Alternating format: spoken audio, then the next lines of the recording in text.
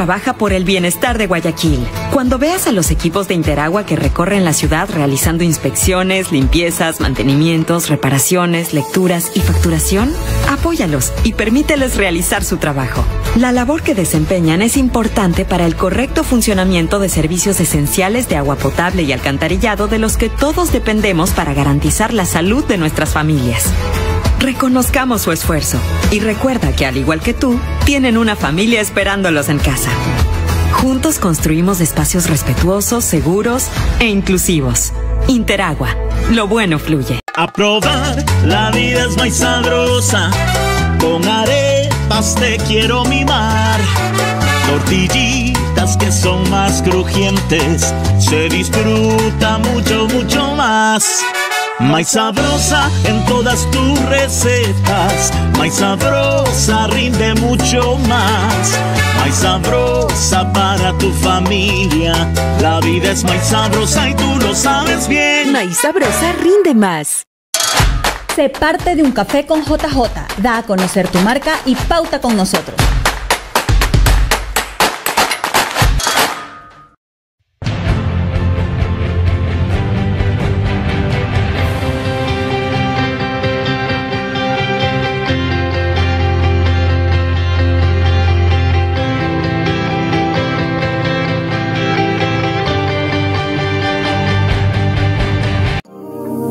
El siguiente programa es clasificación A, apto para todo público, y tiene contenido de opinión e información. Inicia Un Café con JJ, el noticiero digital más visto en Ecuador. Trinchera del libre pensamiento y del periodismo responsable. Dirige Jimmy Jairala, con Omar Jaén y Noris Arroyave.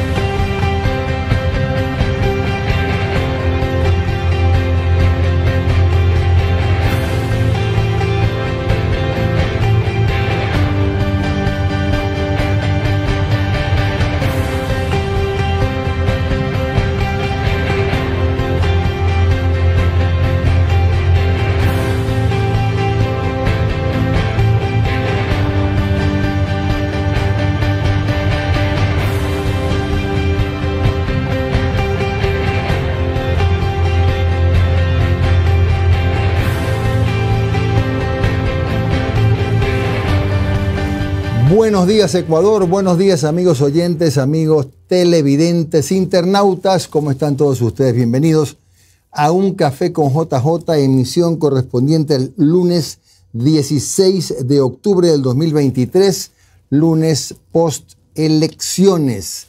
Les damos el saludo también a quienes nos están escuchando en la señal de la radio redonda 99.3 FM estéreo, tanto en las provincias de Guayas como de Santa Elena y en diferido en la provincia de Manabí en la onda de Radio Café.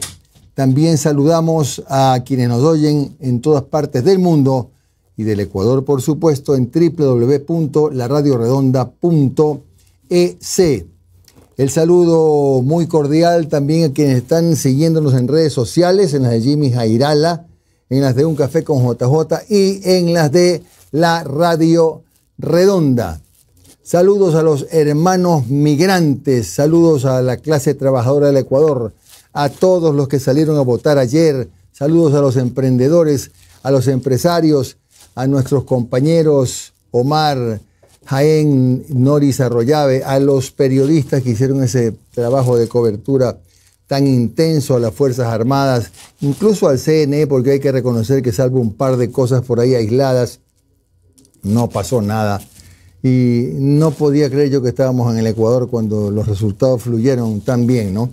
Así que eso es, eso es algo que hay que ponderar. Eso estuvo bien. Ya comentaremos el tema de la victoria del nuevo presidente electo, eh, don Daniel Novoa. Eh, comentaremos también eh, qué pasó, para quienes se preguntan, con Luisa González. Todo a su debido tiempo, porque lo primero es decirles que mm, estamos enfrentando pues ya un nuevo periodo lleno de problemas que le va a tocar enfrentar al presidente de la República, pero bueno, ya, los, ya lo iremos analizando. Revisemos. Daniel Novoa ganó en 16 provincias y Luisa González en 8. Ha recibido felicitaciones de diferentes actores políticos de la Embajada de Estados Unidos, del Reino Unido, eh, de presidentes latinoamericanos, e incluso de eh, miembros de la Revolución Ciudadana como Pavel Muñoz, Marcela Guiñaga, eh, Aquiles Álvarez y de Rafael Correa solo hizo una reflexión sin felicitación incluida. Hubo un pequeño incidente al inicio del proceso cuando la ex asambleísta Esther Cuesta denunció que no estaban entregando la papeleta de presidente en Génova, pero se aclaró que fue solo un error involuntario. Eh, vamos a ver muy rápidamente algún, algo del perfil de quienes podrían ser ministros, como por ejemplo Iván Wong en Agricultura, Sonsoles García en Producción, Jan Topic ya dijo que va a apoyar a Novoa, pero en ningún cargo público, nada de cargos públicos. Novoa dijo que hoy comienza a trabajar a partir del mediodía ya en la, en la reconstrucción del país. La vicepresidenta electa Verónica Abad dijo que la consulta es absolutamente un hecho. Luisa González reconoció la victoria de Daniel Novoa. ¿Y qué más? Eh, Daniel Novoa pues sufragó en Olón, Luisa González en Canuto. En el exterior se dieron las votaciones a excepción de cuatro países, como ya lo hemos manifestado. En tema económico, 20 mil barriles diarios estamos produciendo. 20 mil barriles diarios menos. Menos. Y en cuanto a la inmigración, este año han salido del país de manera ilegal 205 mil personas. Bueno, ¿qué tal, Noris? ¿Cómo está usted? Jimmy, Omar, buenos días y a todos los que nos acompañan a diario un café con JJ. Gracias por su presencia y por su permanencia en este proyecto periodístico, al equipo. Eh, buenos días y bueno, a todos los que ya se están conectando. Tenemos 1.274 conectados a las 6 y 5 de la mañana. Eh, y tenemos 82 likes, así que vamos a igualarnos, por favor, pongamos like en, el canal de YouTube, like en Facebook, compartamos este programa para que pueda llegar a más personas y sepan que existen proyectos periodísticos de esta calidad en el que pueden informarse. Este, bueno, ya tenemos presidente, eh, creo que lo que queda de ahora en adelante es primero desearle la mejor de las suertes y que todos los sectores políticos, sociales, económicos, arrimemos el hombro y, empujemos el barco para que el Ecuador salga del fango en donde se encuentra.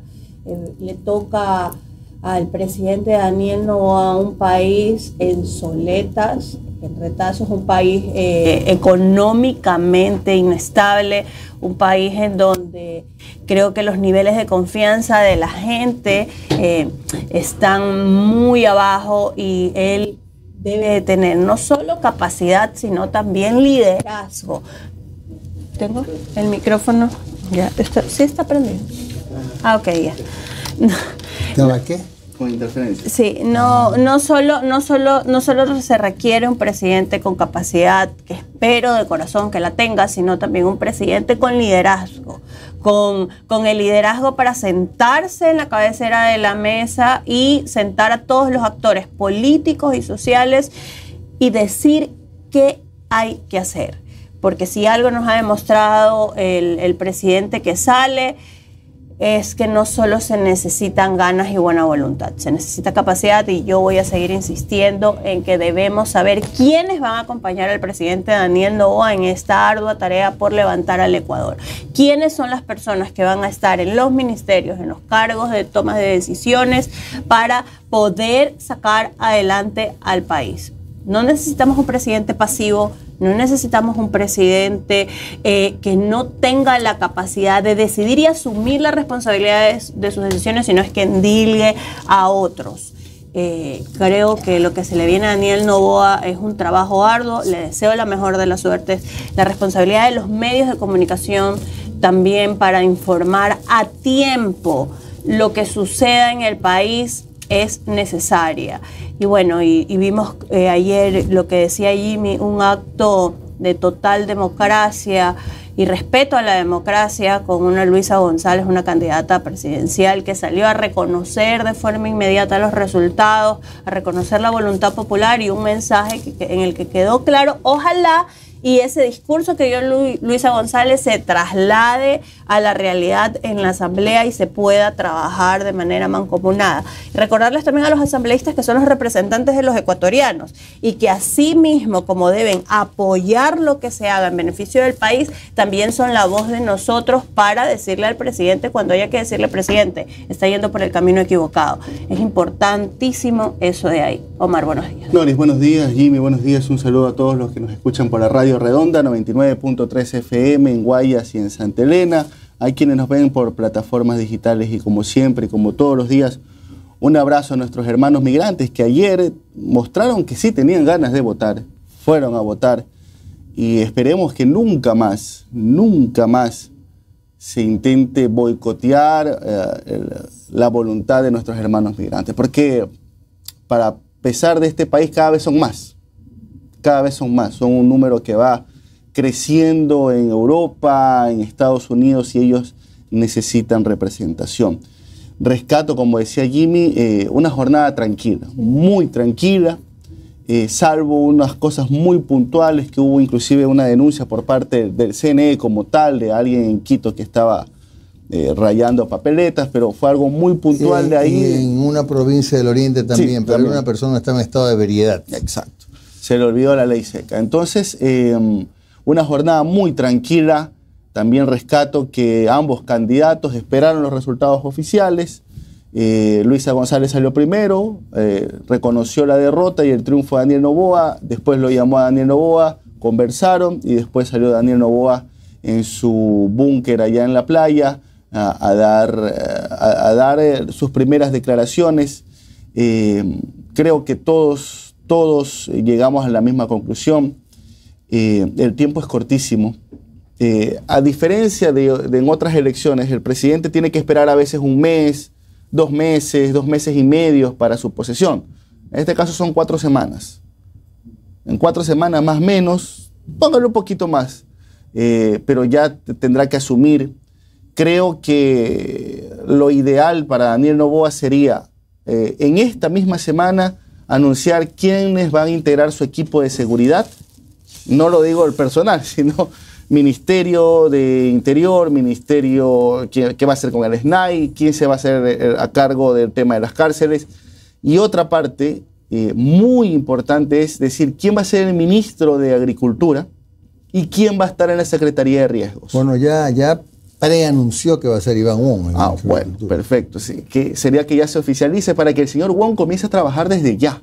Dentro de las limitaciones, obviamente, porque no está posicionado en el cargo, pero tener acercamientos inmediatos, porque recordemos que tenemos que nos golpea la puerta un posible fenómeno del niño. No, va a venir un fenómeno del niño. No sabemos todavía la intensidad con la que va a venir, pero sabemos que el país está en soletas y que así sea aunque no sea algo extremadamente fuerte, si es algo solamente fuerte, nos va a afectar y va a afectar a nuestros agricultores. Así que por lo menos esos dos sectores, lo que tiene que ver con seguridad y lo que tiene que ver con agricultura y secretaría de riesgos, es necesario que esas personas ya sean nombradas para que puedan tener los acercamientos, porque esa es otra, ¿no?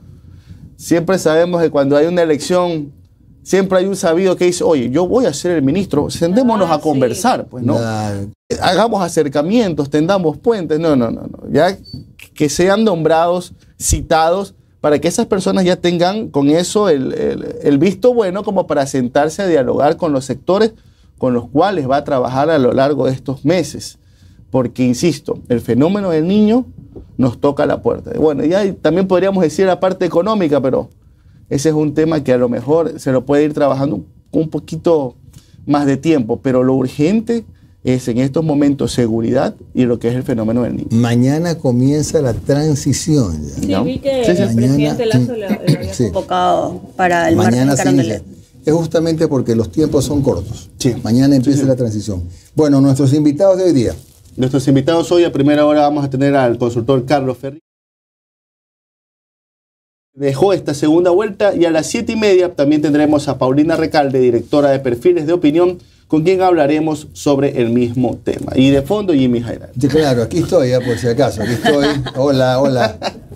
Solo eh, recordarles que este es un gobierno cortísimo, ¿no? Sí.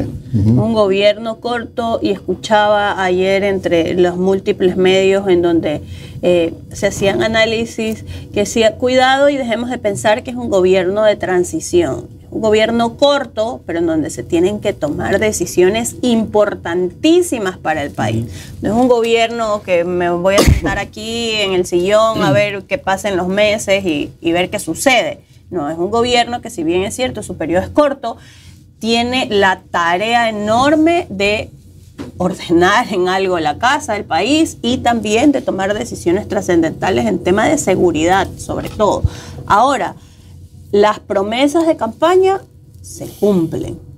¿No? Entonces, también es cierto que es importante que las múltiples promesas de campaña que hizo el presidente Daniel Novoa estén en checklist y es la responsabilidad de todos los ecuatorianos también estar pendientes ¿no? de lo que pase. Ayer, eh, hábilmente, en, en el discurso de, de aceptación de la derrota, Luisa González Lo le dijo, escuché. bueno, voy a llamarlo porque el señor Novoa prometió que todos los chicos van a entrar a la universidad, que va a subir a 450 dólares todas las pensiones jubilares.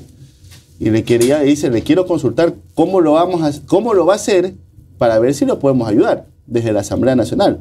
Son temas que van a estar siempre sobre el tapete. Hay bastante para conversar hoy día, para analizar eh, por qué ganó Daniel Novoa, por qué perdió Luisa González. Vamos a revisarlo sin duda alguna. Pero antes, la pregunta que dejamos el fin de semana para ustedes. ¿Usted cree que la situación del Ecuador mejorará con el nuevo gobierno que se elegirá, que se eligió ayer?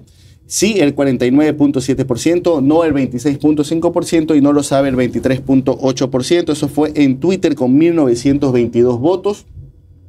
La misma pregunta en la cuenta de Jimmy Jairala en YouTube alcanzó 13.000 votos, el 66% es- dijo que sí, el 19% que no y no lo sabe un 14%. Bueno, a la pregunta en tiempo real. Primero deja la de hoy. Ah, perdón, disculpe, La de hoy para mañana es la Ah, siguiente. Así es, anda pero arrasador Jimmy día. A ver, el sondeo para el 17 de octubre. ¿Cuál cree que fue el factor que hizo que Daniel Novoa ganara las elecciones? Sus propuestas, su estrategia digital, porque no era de la RC o no lo sabe. En la cuenta de YouTube Jimmy Jairala, en la cuenta de Twitter arroba un café con JJ. ¿Cuál cree que fue el factor que hizo que Daniel Novoa ganara las elecciones? Sus propuestas, su estrategia digital, porque no era de la RC o no lo sabe. Me gustó la pregunta, Leo. Bueno, la pregunta en tiempo real, porque mucho se ha hablado en estas últimas horas de unidad, es una palabra que ha sonado bastante. ¿Cree usted que Daniel Novoa debe formar un gobierno de unidad? Sí, no, o simplemente es imposible. Ya hay una. le dejamos el espacio para los que digan no sueñen, esos son sueños de perro, ¿no? Bueno, ¿cree usted que Daniel Novoa debe formar un gobierno de unidad? Sí, no o es imposible. Esa es la pregunta y pasemos ahora a lo que nos dicen en redes y no se olviden que este programa también vive de, sobrevive de la ayuda de ustedes y hay una forma como es el super chat, por ejemplo, como es la cuenta del Banco del Pacífico, ya ustedes la conocen y que será explicada nuevamente. Ahí está. A ver, ahí Explique. tenemos. Tiene el super chat de YouTube que les va a aparecer en la pantalla, un dibujito, un icono con el signo de dólar, le da clic y ahí puede empezar a hacer sus aportes hasta ¿Cuánto? ¿Hasta cuánto pueden aportar Hasta en el 500. superchat? En el superchat hasta 500 Hasta dólares. 500 dólares en el superchat de YouTube pueden enviar sin ningún problema y en el superchat lo pueden hacer con un acompañado de un mensaje que será leído en el programa. También tenemos las estrellas en Facebook, 100 estrellas, un dólar, 500 estrellas, 5 dólares y allí las va a recibir Omar Jaén, gustoso de la vida. Tenemos la cuenta corriente del Banco del Pacífico que les va a aparecer en sus pantallas. Tómele foto 07517227 a nombre de un café con JJ y puede aportar este proyecto periodístico y también la tan recordada cuenta de PayPal que Jimmy Jaira le dice que mejor le transfieran a la cuenta corriente, pero si quieren hacerlo por PayPal también es bienvenido para eh, apoyar este proyecto periodístico. Bueno, y antes de arrancar yo necesito desearle feliz cumpleaños a mi hermana. Yasmeli Arroyave, te amo gorda, eres el amor de mi vida. Le doy gracias a Dios todos los días por tu vida. Le pido salud para ti y estamos orgullosas de la mujer que eres. Feliz cumpleaños, ñaña. Su, su papá les ponía nombres Sí, bueno, eh, ¿no? exóticos. Noris Yasmeli y su hermano, ¿cómo se No, ese sí es que él es clásico, Alfredo. Alfredo. Bueno, también yo quería ir a saber nomás. Bueno, vamos a los saludos entonces. Cuidado. Oiga, usted sí sabe que yo tengo el nombre de una enamorada de mi papá. ¿Ves? Oh, y su mamá no sabía eso. Pero coincidencias, cuando conocí a mi mamá, la mamá de mi mamá, mi abuela también se llamaba Noris. Ah, bueno, zafó. Ahí zafó, Zafó. pero realmente él, él siempre decía, el día que yo tenga una hija le voy a poner como el nombre de, de mi enamorada porque me gusta el nombre. Lógico. Imagínese. Pero ya. Eran otros tiempos. Era otro, era, Eran otros no, mis tiempos. papás Ahí eran bien como democráticos, exacto, sí, sí, la verdad es que había mucha comprensión. Luber Villa Gómez nos escribe desde Manta, Hilda Zambrano, Carlos Arturo Rosero está en Zaragoza, Glenda Peñalosa nos escribe, por acá está Ruth Jimena Ortega, Enrique J. Bueno, no sé, Jaime Gómez, ya prometí que cualquier cosa rara no la leo. Gabriel Montero nos escribe por acá Cristina Cagua, Kelvin Pérez Chiquito está en Balsar, Eh, Cristina está en Bahía de Caracas, Norma Macías. Sánchez Ruiz Ángel nos escribe desde Lago Agrio, Paco como todos los días está en La Haya, los Países Bajos, Luis Fares Tubay, Cantón 24 de mayo, John el Oscuro dice buenos días. Eh, ¿Quién más anda por acá? Marlene Indaburo, Alejandro López está en Carolina del Norte. Hagan sus aportes, señores, y pueden comentar eh, lo que piensan de- del triunfo del presidente Daniel Novoa a través de sus aportes y serán leídos. Tenemos a Teresa de Sintonio, Gabriela Montero, Máximo Barba, Marcos Ayala, Marcos... Te están rayando, Omar, por acá. Roberto de la Cruz, Tanya, Jofre Almeida está en la troncal, Patricia Portilla y Cirila Maricruz. ¿No está la tía Jenny? ¿Se ha quedado dormida o está en Facebook? Juan Pablo Pacheco también está por aquí. En Facebook está Edgar Alvarado, Narcisa Rocío Triviño, Fortunato Maruri desde Playas, Luber Eduardo Villa Gómez desde Manta, Ketty eh, Vanessa desde Machala, José Manuel nos saluda desde Chile, Yo Mazo Salsa desde Valencia, Yuli, eh, no nos indica desde dónde, Tatiana Nazareno desde Guayaquil, Levi Rivera desde Manta, Edgar Logroño desde Quita, Hildo Dolores Zambrano, ella está en España, David Wilfrido Moreira desde la calceta sin par. Eh, Leodán Alcíbar conectado también. Magdalena Ruiz, Lenín eh, Román Grijalva desde Toronto. Ricardo Borbor desde el Cañar, Alicia López, Jorge Armijos desde el sur, Mercedes Villa desde el sector de los Vergeles al norte de Guayaquil, Magdalena Ruiz ya la habíamos saludado, María Elena desde Carcelén, Maura Chinga desde Puerto Viejo, Néstor Ullauri, Patricio Alarcón desde Copenhague, Giovanni Bello desde la península de Santa Elena, desde Italia, Lilian Rocío Mejía Jacome, también conectado eh, Julie, ya nos- la habíamos saludado, Javier Arturo Gaibor, y cerramos con Gladys Hidalgo.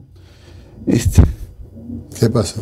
está como- Leía. ah, que no, que le están, están mandando a, a- a orar a alguien por acá. ¿A mí? No, no, a otra persona. Ah, ya. Esa es la discusión. Oye, la tía Jenny dice que sí está. Sí, es ahí verdad, está. tía Jenny. Buenos días. Oye, ya, ya. Oiga, sí, ya vi. Sarcástica, chismosa y criticona.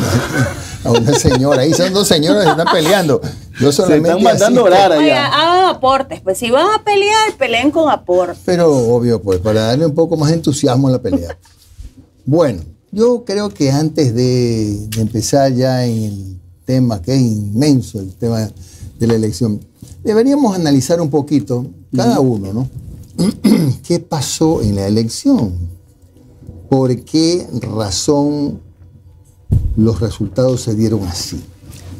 ¿Quién empieza? ¿Procede usted? Yo. Por, eh, por edad o Por donde lo quiera ver. ah, por, Por edad, ustedes por y yo también. lado, por cualquier lado me toca a mí primero.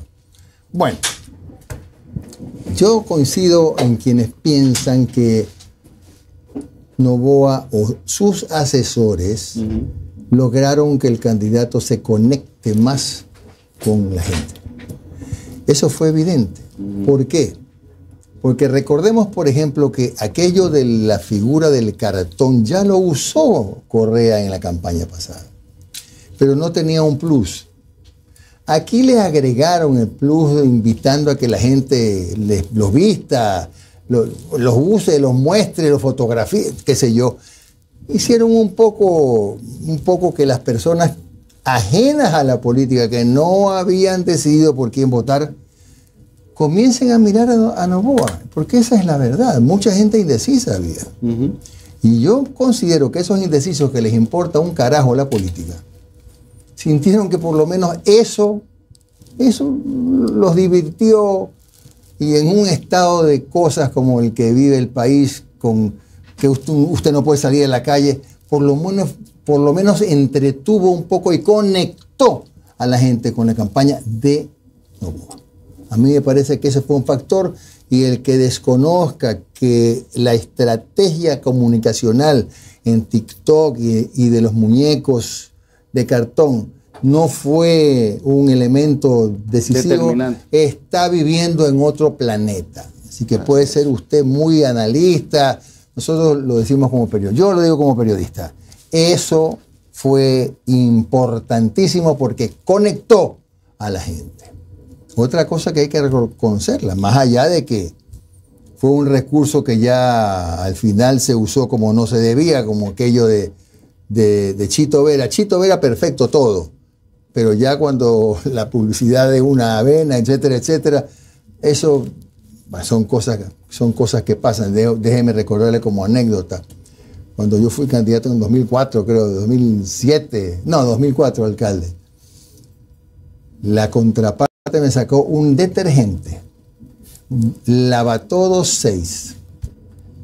Todos los días, tun, tun, tun, todos los días. Me sacaron un detergente. Así No se llamaba. Lava- usted no nacía.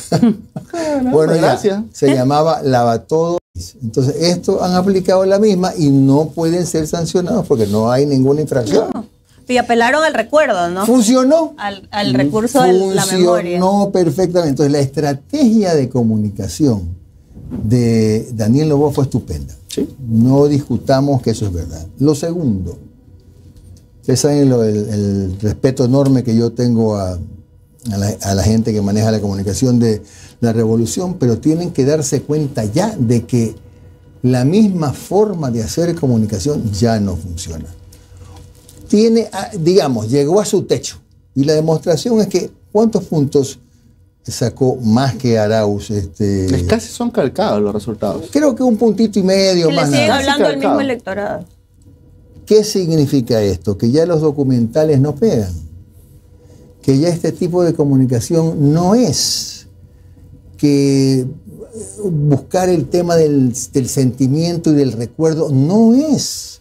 Entonces, lo que tiene que hacer ya después de esto la revolución para su próxima campaña es hacer un giro de 180 grados en la comunicación y tener mucho más respeto en lo digital. Nosotros antes de la pandemia decíamos que lo digital no es el mundo, Ah, eso era antes de la pandemia, pero después de la pandemia, la gente joven se conecta en lo digital. Así que aquí no hay que buscar eh, culpables, yo creo que fue una gran campaña de, de Daniel Novoa, fue una muy buena campaña de Luisa González, una mujer disciplinada a la que no se puede acusar de nada. Ella fue disciplinada y cumpliendo la agenda, no se salió del libreto. No hay nada que decirle a Luisa González, nada. Y a Daniel Novoa, ¿qué se le puede decir? ¿De qué le vamos a acusar? ¿De, que, de, que es un candidato que votó mucha plata? Pero si tiene plata, eso, eso no es ninguna novedad. Pero hay que ver también qué hace uno con la plata, porque su padre, mi viejo amigo, cinco veces fue candidato y no llegó. Pero este chico se conectó con la gente, tuvo un equipo que, se que lo hizo que se conecte con la gente, punto. Entonces a mí me parece que, y, yo insisto en una cosa también, hay que recordar que él eh, tuvo un mérito, no entrar en el tema de la acusación personal no se enredó en eso de que tú eres correísta y yo no, de que tú representas al Solo tuvo un desliz con la Isa, pero como que alguien le dijo, ni te metas en Pero mucho ojo, que a lo mejor ni siquiera fue un, no le fue mal con el desliz. No, no. No le fue mal. Y fue parte del plan. Si fue un desliz o si fue estratégico, fue brillante. Porque ocurre que si nos ponemos a revisar lo que pasó en la sierra, si es que trabajó eh, silenciosamente Isa, no se vio el resultado. No, funcionó. No pasó nada. En consecuencia, eso es.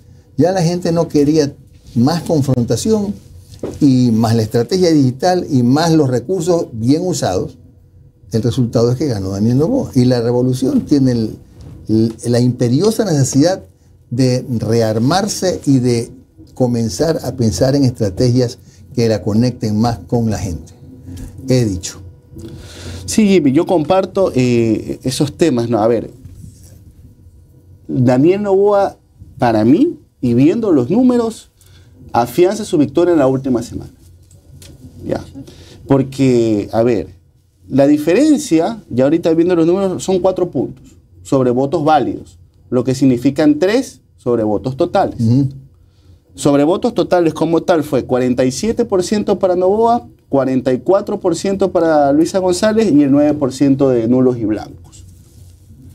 La última semana de campaña con una campaña exitosa, espectacular 360. Fue una verdadera campaña 360. Porque hasta utilizaste los medios tradicionales contratando al Chito Vera para que salga a promocionar el producto de tu familia. Utilizaste medios tradicionales con el Chito, utilizaste la parte digital con los muñecos de cartón y basta. Y aparte el territorio que él mismo hizo el último fue una campaña 360 súper exitosa. Más que exitosa. Y eso fue lo que afianzó. Y yo creo que ahí vino el gran parte de agua. Se llevó a los indecisos, que son los que terminan definiendo esta elección.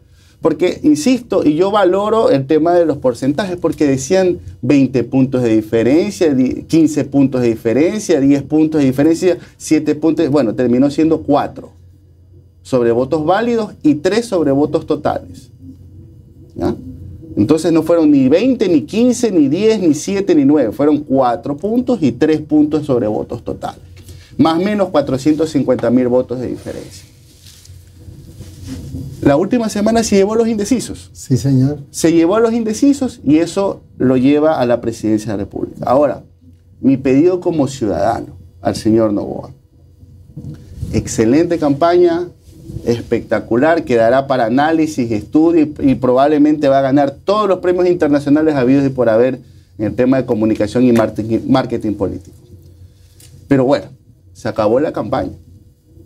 Ayer los ecuatorianos votaron para que alguien lidere este país y lo intente sacar al menos un poco del, fondo del pozo donde está. Ayer, el, eh, ayer el Ecuador escogió un presidente, no un influencer. Ayer la gente pidió a gritos con su voto, necesito alguien con ideas nuevas que venga a sacarnos del hoyo en el que estamos. Y se lo doy como consejo, señor Novoa. Eh, la grave crisis en la que está el Ecuador no se soluciona con marketing político. Se necesita política de la antigua y se necesita gestión. Gestión y política. Obviamente el marketing político siempre te puede acompañar, es más, a mí no me queda la menor duda, y se lo voy diciendo desde ahorita, que en el momento en que nazca el hijo del señor Novoa y, vaya la, esposa del señor Novoa con Carondelet, con la foto del bebé, en el Palacio Amarillo va a ser la fotografía con más likes en la historia de Instagram en Ecuador. No tengo la más mínima duda de que eso va a ocurrir. Y está bien. Pero, a punta de likes, no salimos del fondo de donde estamos. Así que Ahora le toca hacer política de la buena. acercarse, hacer entendimientos, tender puentes, hasta inclusive con la gente que no te votó. Un 44% del país que no te votó. Porque la situación es gravísima. La situación es gravísima. Con respecto al RC, concuerdo también con Jimmy, tiene que actualizarse y renovarse. Ahora, yo sí siento, que ayer decía, bueno, este ya es el fin de la RC. No. Ya quisieran muchos partidos tener este fin, pues, ¿no? O sea, tener eh, cuatro, a ver, 4 millones 765 mil votos. Hay candidatos que no llegaron de 700 mil votos en las elecciones pasadas, en la primera vuelta. Ya, ya, quisieran algunos partidos tener esta muerte, ¿no? que, supuestamente tiene la RC. Pero lo, lo, que sí es cierto es que ya por dos elecciones seguidas los cogen dormidos la última semana de campaña. En el 2021, con la activación del Andrés No Mientas otra vez y los zapatitos rojos, y ahora los vuelven a coger dormidos con el tema de los muñecos de cartón. Vendrán esas mentes sesudas de la Flaxo, allá del tanque de pensamiento, decir, no, pero es que nosotros no podemos caer en estas banalidades, eh, no podemos ser tan superfluos. Pues bueno, así es el electorado hoy en día. Y y también hay veces que escucho que dice, bueno, yo prefiero perder así a caer en esas banalidades. Pues bueno, te informo que para crear cambios profundos en una sociedad necesitas el poder. Hay que estar. Desde, desde, desde, los artículos de científicos, desde los libros o desde los discursos de tarima no se cambia un país, se cambia con gestión y con acción política. Y para tener esa gestión y acción política tienes que ganar las elecciones. Porque sin poder no puedes provocar cambios reales. Entonces, les guste o no, podrán decir, a ver, hay dentro del tanque de pensamiento de la RC dice, no, pero es que no podemos caer en esa idea durambarbiana de que el nuevo electorado y que el electorado joven es tonto y se deja llevar por una tendencia de TikTok. Así es el electorado, te guste o no. Y tienes que, si quieres llegar al poder, tienes que llegar a ese electorado. Tienes que llegar a ese electorado.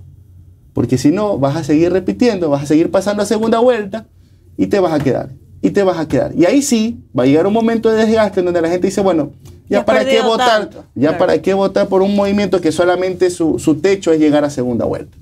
Entonces, la, quizás el único premio consuelo que tiene la RC es que ya en agosto ya tienen que estar los nuevos candidatos. En agosto. En agosto del próximo año ya tiene que estar la lista de candidatos para las elecciones del 2025. Pero tienen todo este tiempo para reflexionar, hacer autocrítica. Autocrítica, señores. No solamente decir que fue culpa de Moreno, que fue culpa de los medios. No, autocrítica. Es cierto lo que dice.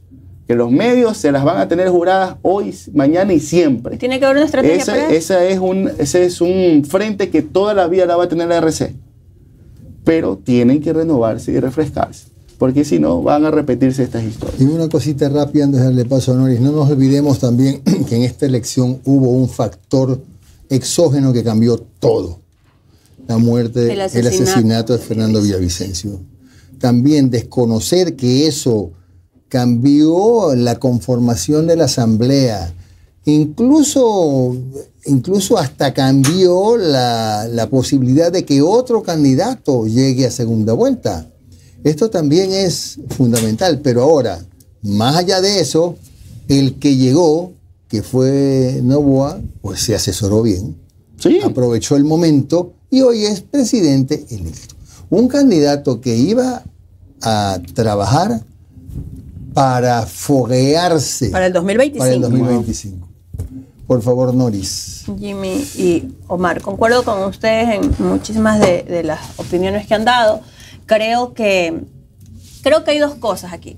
Primero, lo que acaba de decir Jimmy, el asesinato de Fernando Villavicencio cambió completamente el tablero electoral y si algo, eh, todos los que hacen política deben, deben o debemos entender es que eh, la volatilidad del electorado en este momento te obliga a tener la capacidad de reacción y de replantear cualquier estrategia de cero en cualquier momento.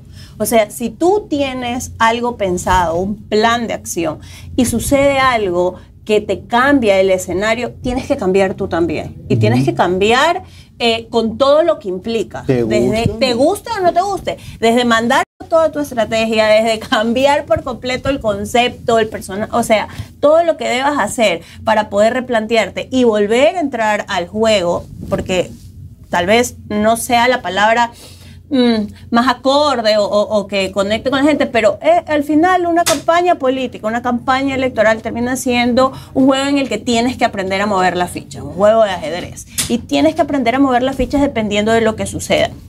El asesinato de Fernando Villavicencio cambió completamente ese juego, cambió a los personajes, a los actores que estaban dentro del juego. Y eh, yo lo que veo desde afuera y muy respetuosamente es a una campaña de la RC que tal vez no se pudo acomodar a este nuevo, a este nuevo escenario, ¿no?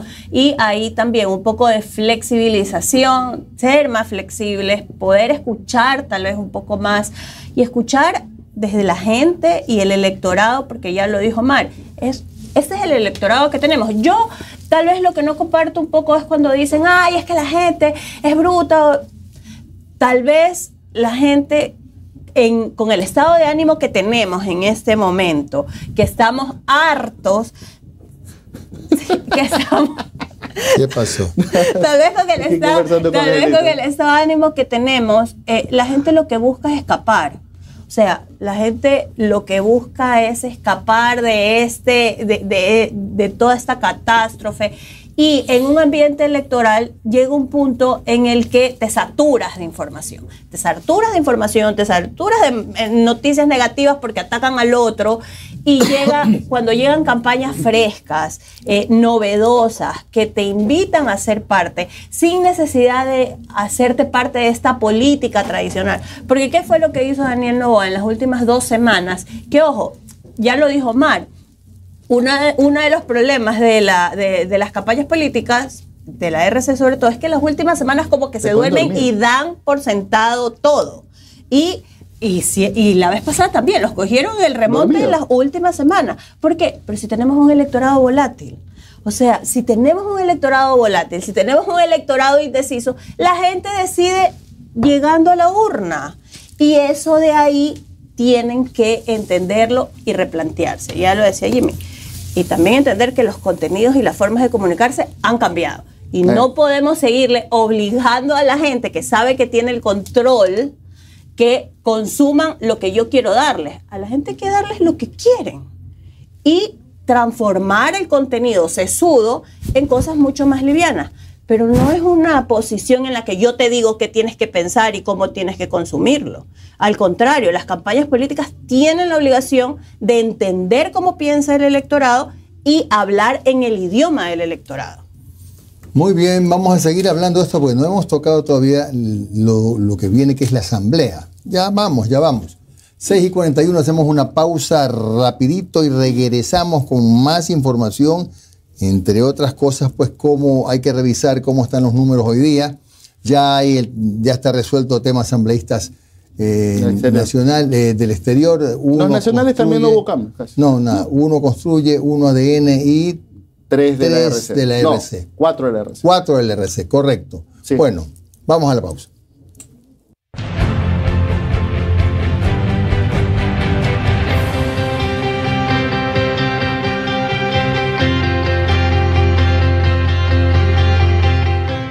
Cuando llegan las enfermedades respiratorias, tus días se vuelven grises. Devuélveles el color con Eucamiel y Propolis Forte Spray. Los aliados perfectos para eliminar y aliviar los síntomas de la gripe. Su combinación elimina de forma natural la tos, flema e infecciones a la garganta. Además mejora la respuesta del sistema inmunológico. Cuida tu salud y la de tu familia con Eucamiel y Propolis Forte Spray. Los aliados perfectos para respirar naturalmente. Un producto de Nature's Garden. Si los síntomas persisten, consulte a su médico. Interagua trabaja por el bienestar de Guayaquil. Cuando veas a los equipos de Interagua que recorren la ciudad realizando inspecciones, limpiezas, mantenimientos, reparaciones, lecturas y facturación, apóyalos y permíteles realizar su trabajo. La labor que desempeñan es importante para el correcto funcionamiento de servicios esenciales de agua potable y alcantarillado de los que todos dependemos para garantizar la salud de nuestras familias. Reconozcamos su esfuerzo y recuerda que al igual que tú, tienen una familia esperándolos en casa. Juntos construimos espacios respetuosos, seguros e inclusivos. Interagua. Lo bueno fluye. Sé parte de un café con JJ. Da a conocer tu marca y pauta con nosotros.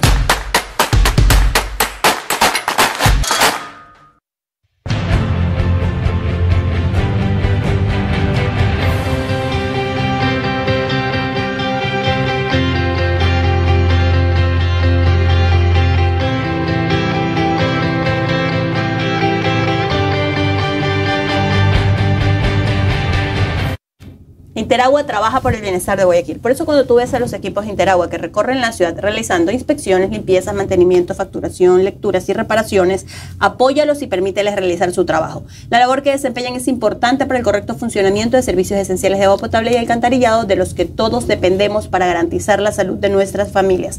Reconozcamos su esfuerzo y recordemos que, al igual que tú, tienen una familia que los espera en casa. Juntos construimos espacios respetuosos, seguros e inclusivos, porque con Interagua, señores, lo bueno siempre fluye. Harina precocida maíz sabrosa, 100% natural, cero gluten, maíz sabrosa, el éxito de tu cocina rápida, rendidora y económica. Esa es harina maíz sabrosa, la harina de Diego Martín. Y de José David, que me acompañó ayer a votar. Ah, ¿A qué fue a votar? Yo fui pues, como, como estaba tranquilo, yo salí de mi casa como a las diez y media fuimos todos, todos, toda la familia y llegaré, habremos, había, había un poquito de tráfico, habría llegado, qué sé yo, 11 y 40, pero me, me demoré en votar dos minutos. la verdad es que no había nadie. Más demoré en parquear el carro, se lo juro. Sí, sí, sí, increíble. La verdad es que el proceso fue muy fluido, porque era además... Sí, una, papeleta. y además que ya los vocales tenían... La experiencia. La experiencia. fue rapidísimo eso. Este, sí, me preguntó José, ¿ya, ya votaste, papá? porque fue tan rápido. Claro. Increíble, increíble. Bueno, eso estuvo bien, hay que reconocerlo. Aquí le hemos dado al CNE, pero hay que darle una felicitación, porque la verdad es que lo hicieron muy bien, estuvo muy bien. El sistema informático, vea, se cayó una sola vez, 30 segundos. 30 segundos, eso fue todo lo que pasó. Bueno, vamos a ver el mapa, eh, eh, el mapa electoral, cómo quedó pintado. ¿ah? Aquí está. Según el nuevo mapa político del país, Novoa ganó en 16 provincias, pero ojo con este dato, todas de la sierra, todas las de la sierra, todas, cuatro de la Amazonía y una de la costa. En, eh, ¿Cuál fue? El oro, si no me equivoco. Sí, el oro. El oro. ¿Qué pasó en cambio con, eh, bueno, el oro donde, donde está en las plantaciones bananeras? Mm, de la familia Pero en los ríos perdió en cambio. Es una cosa que no se entiende. Bueno, eh, ¿qué pasó en cambio con Luisa González? Ganó en ocho provincias, seis de la costa y dos de la Amazonía. Bueno, según ese mapa, a Santo Domingo lo consideran de la costa, ¿no? Claro. Sí. Pero habría que agregarse una cosita que a mí sí me llamó la atención poderosamente. Que en provincias como Guayas y Pichincha, donde la revolución tiene alcaldes y muchos, y prefectos, el resultado no fue el esperado, digamos. En Guayas una victoria apretada y, en Pichincha... 60-40. Bueno, en Pichincha fue indiscutiblemente una garrotiza electoral.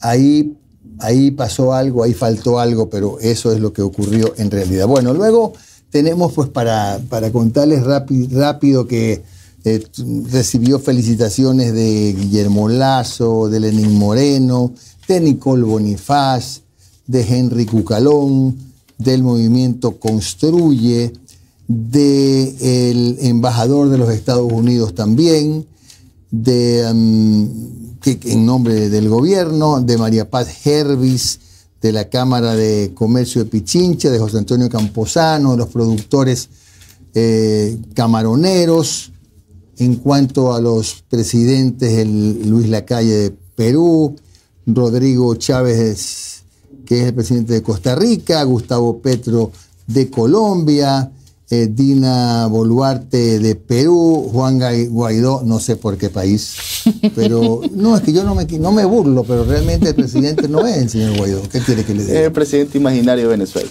¿Qué quiere que le diga? No, no, no, no, no me mire mal, Noris, pero no es presidente. Pues. si fuera, no le diría. Bueno, Pavel Muñoz. No, supongo que el señor Novoa lo va a reconocer a él como presidente. No creo. Francamente, no creo. Oye, pero me, hay que reconocer algo. Si algo ha demostrado, por lo menos, eh, Daniel Novoa, es no entrar ni en conflictos y tener la capacidad de surfear estas disputas políticas bien.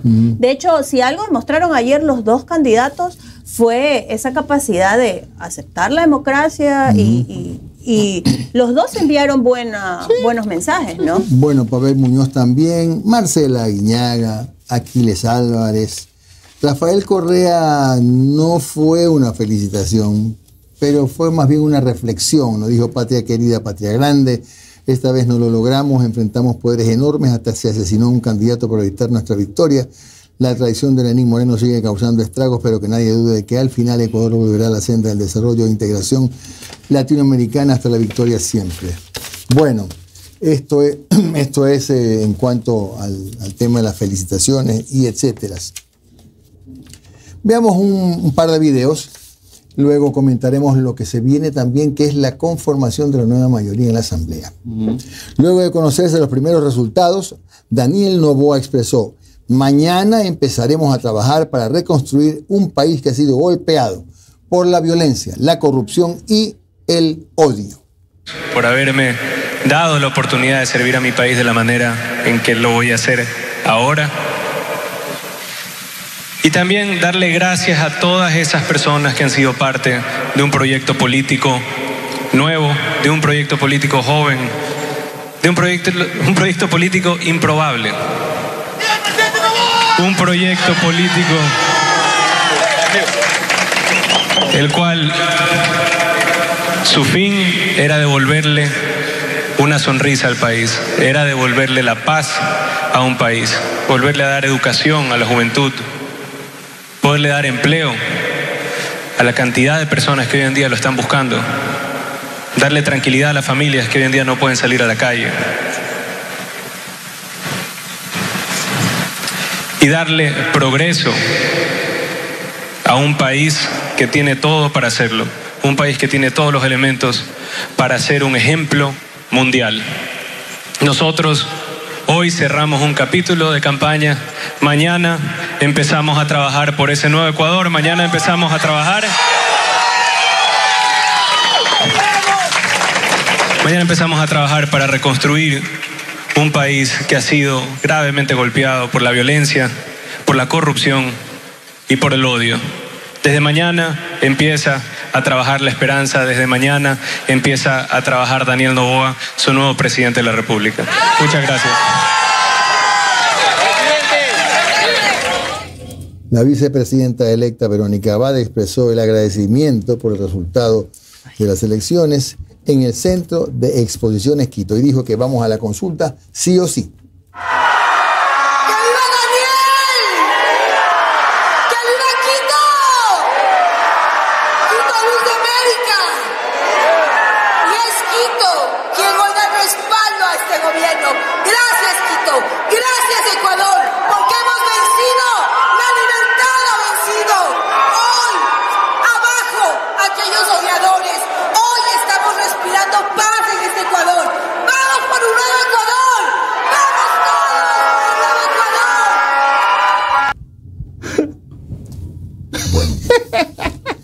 La calle. se... risueño hay, hay, hay, frases, hay palabras que uno lo conectan con otras candidaturas. Sí. Bueno, la candidata Luisa González reconoció los resultados de esta segunda vuelta y felicitó al presidente electo Daniel Novoa. Candidato, ahora presidente electo Daniel Novoa, nuestras felicitaciones profundas porque es democracia. Nosotros jamás hemos llamado a incendiar una ciudad, ni jamás salimos gritando fraude.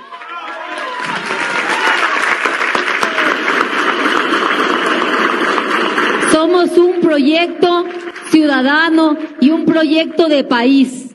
Y dentro de ese marco de proyecto de país, la seriedad ante el pueblo ecuatoriano es lo primero. La seriedad de las ofertas que se hacen y de cómo hacemos política, que creo que eso es fundamental. Cómo se hace política en el Ecuador es desde allí que empiezas a construir esta casa. Así que a Daniel Novoa espero en unos minutos más poderlo llamar también y felicitarlo personalmente, bueno, por teléfono. Bueno, aquí mi amigo Omar está revisándome cuántos eh, asambleístas tiene el Partido Social Cristiano. ¿no?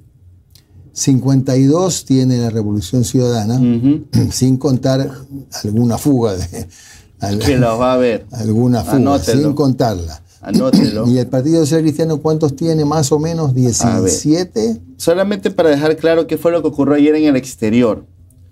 En el exterior, eh, con- ¿se acuerdan que en primera, el 20 de agosto había sido 3 para la RC y 3 para Construye? Correcto. Ya.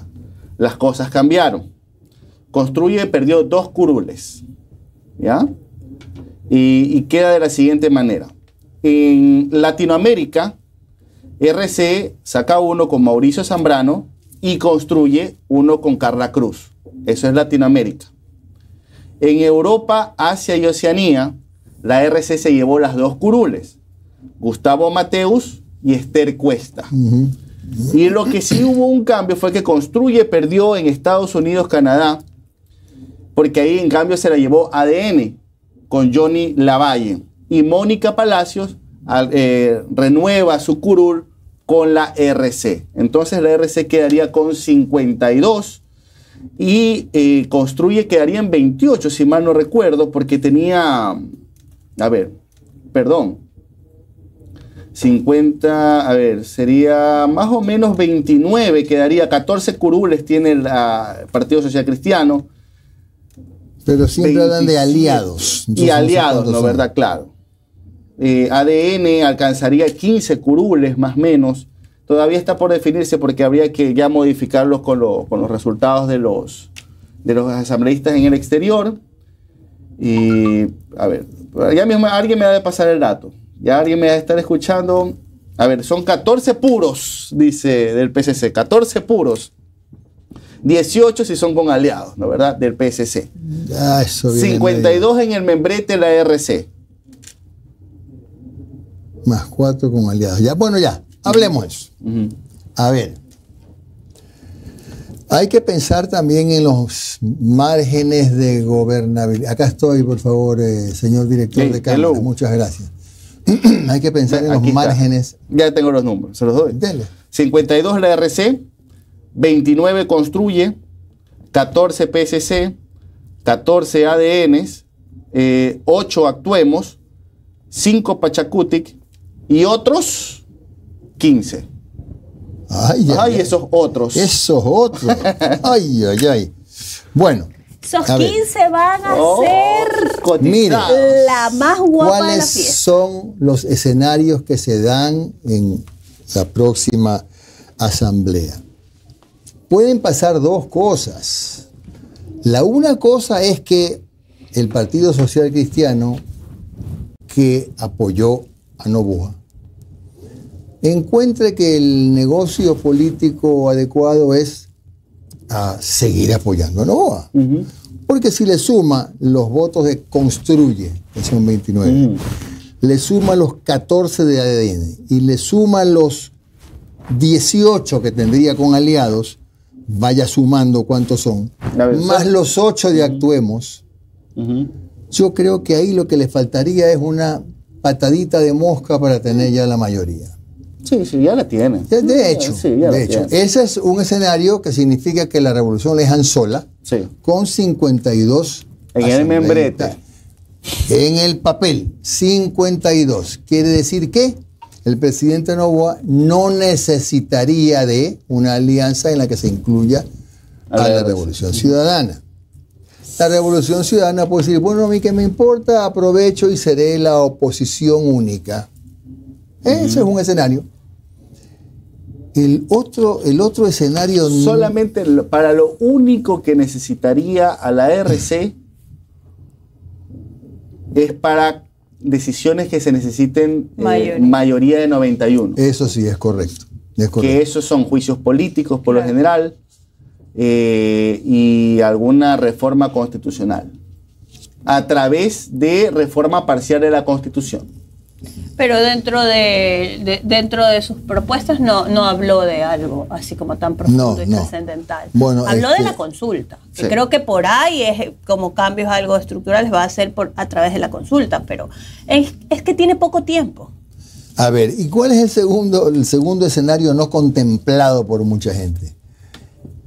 Que Daniel Novoa va a tener que conseguir un ministro de gobierno genial, porque va a estar en manos de dos partidos políticos. Sí. Del Partido Social Cristiano, que nuevamente es un actor que nuevamente, gracias a la campaña del, del señor Jan Topic, logra, logra meter 18 asambleístas, 4, 14 puros y 4 impuros serían. ¿no? Y cuatro de los, de Cuatro los otros. híbridos. Cuatro híbridos. Eh, eh, y, el, y construye. Entonces, es decir, lo digo. Y ojo, y que construye tiene atrás a un personaje que, que, que sabemos, y que es María Paula sabe. Romo, y que sabemos que sabe Claro, claro, hacer, claro. del quehacer político, ¿no? Bueno, en, en resumen, si el señor Novoa no tiene un buen ministro de gobierno, un hombre hábil, un negociador, va a estar de rehén, de rehén, de Construye y del Partido Social Cristiano. Esa es la verdad. Sí. ¿Y saben quién es el gran ganador de todo esto? Jaime Nebot. Jaime Nebot. Claro. Sí, Para ¿Hay variar. alguna discusión? claro. ¿No? No, de, de- de- de no tener ninguna aspiración de nada, de haber, de haber acompañado a, a Jan Topic porque no daba nadie dos reales, resulta que se disparó Topic, que el que capitaliza a Topic no es ninguno de los partidos que estaban en la alianza, sino el Partido Social Cristiano, nuevamente tiene, haga de cuenta que esto es una sartén, la sartén por el mango. Sí, señor. Desde Mócoli. Este, yo Esa es la que- cosa. Y, y ojo, Y con nueva mayoría en el Consejo de Participación Ciudadana y Ah, Control ah, esa es otra. Ay, ay, Esa ay. es otra. Que por ahí también está la carne, pues, ¿no, verdad? Ya, Esa es y- oterita. y, bueno, y también habría que preguntarse, y eso ya lo vamos a ver en los próximos días, si tal vez de esa vieja guardia que acompañaba a Álvaro Novoa, hay algún actor político que va a, a, tal vez aparecer o acompañar a Daniel Novoa en este proceso. Porque también es cierto que es importante eh, todo este espíritu de refrescar estas nuevas generaciones que vienen con unas nuevas ideas, pero también es cierto que el quehacer político se hace con experiencia. Y lidiar con una asamblea como la que tenemos requieren actores que tengan experiencia, que conozcan la dinámica de la política y que no tengan improvisación. Porque aquí no es como manejar una empresa. Y si algo creo que nos ha dejado claro y nos enseñó Guillermo Lazo, que no funciona igual. Tiene que poner a un viejo cuco, Exacto. pero que tenga experiencia en negociar. Es que y vea, que tenga palabra, Jimmy. y tenemos también que desmitificar Que estas palabra. palabras de los, de los amarres. En la, en la asamblea hay que hacer acuerdos. Sí. Se llaman acuerdos. Hay que hacer acuerdos. Y, y a uno no le debe extrañar que en algún proyecto X la RC se sume, porque eso puede pasar. No se olvide también de un pequeño detalle.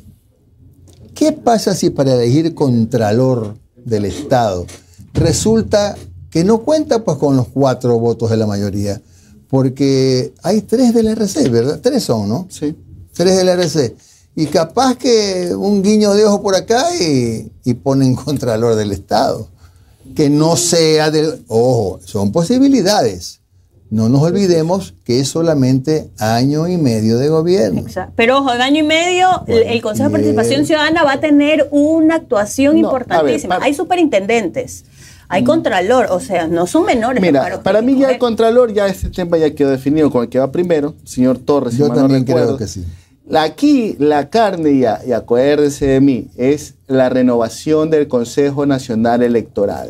Ya. Por ahí va a estar lo bueno. Pero para este- Y por ahí va a ser, y por ahí va a ser la carne fileteada que va a tener que entregarse a todos los comensales. ¿Y, y ¿no, tú verdad? crees que para el 2025 se vaya a poder renovar el Consejo a Nacional. Electoral? Lo van a hacer. Se les da el A ver, tiempo. A ver, dos cosas básicas. O sea, para mí, eh, la consulta popular que el señor Novoa va a plantear podrá tener temas nuevos, pero tendrá el mismo fin que tenía la del 5 de febrero. Ya, pero si hay consulta popular no Restarle. pueden renovar, pues el CNE, porque vuelves a entrar en elecciones. Van a encontrar la manera de renovar. Es que ya tienen que renovar el CNE.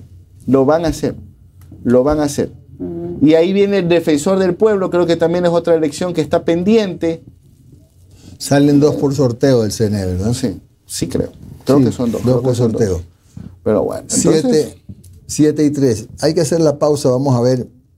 Nosotros nos hemos tirado analistas todo el programa. Ah. Vamos a conversar con Carlos Ferrín al regreso. Él es consultor en comunicación política. Desde su punto de vista, estos resultados de segunda vuelta, ¿qué explicación tienen? Ya regresamos.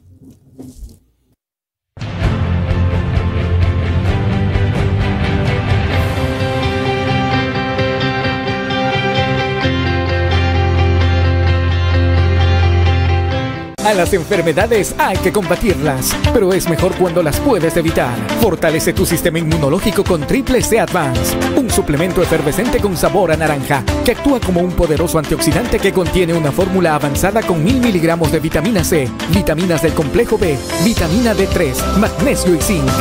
Un sobre diario disuelto en un vaso de agua es suficiente para cuidar tu salud. Siéntete protegido y libre de enfermedades con Triple C Advance. Un producto de Nature's Garden. Si los síntomas persisten, consulte a su médico. Sé parte de un café con JJ. Da a conocer tu marca y pauta con nosotros. A probar, la vida es muy sabrosa. Con arepas te quiero mimar. Tortillitas que son más crujientes. Se disfruta mucho, mucho más. Más sabrosa en todas tus recetas. Más sabrosa rinde mucho más. Más sabrosa para tu familia. La vida es más sabrosa y tú lo sabes bien. Maíz sabrosa rinde más.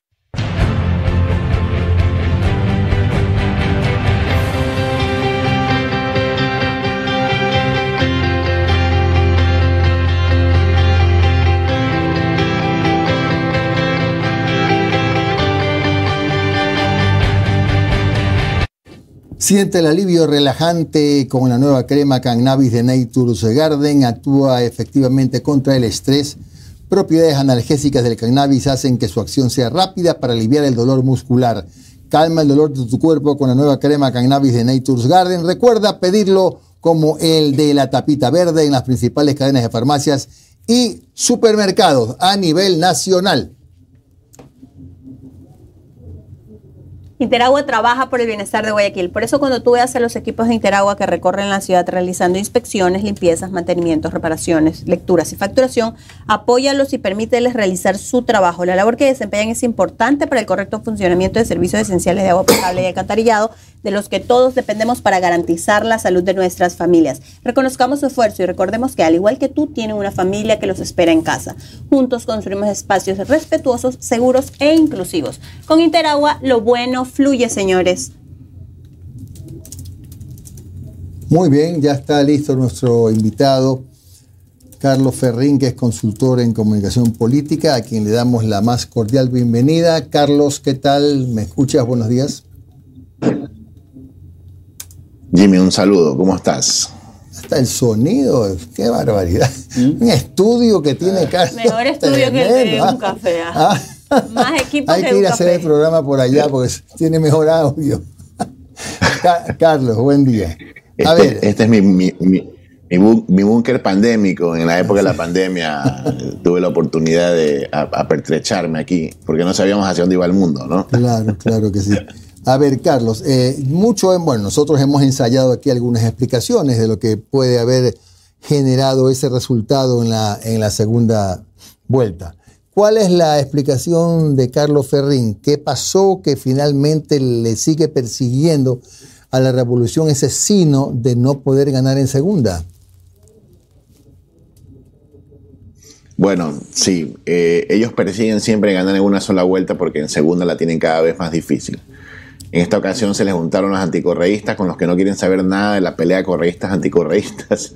Entonces, al no quedar un actor anticorreísta y solo quedar un correísta, bueno, quedó uno de los actores en los cuales este segmento ya empieza también a rechazar, ¿no?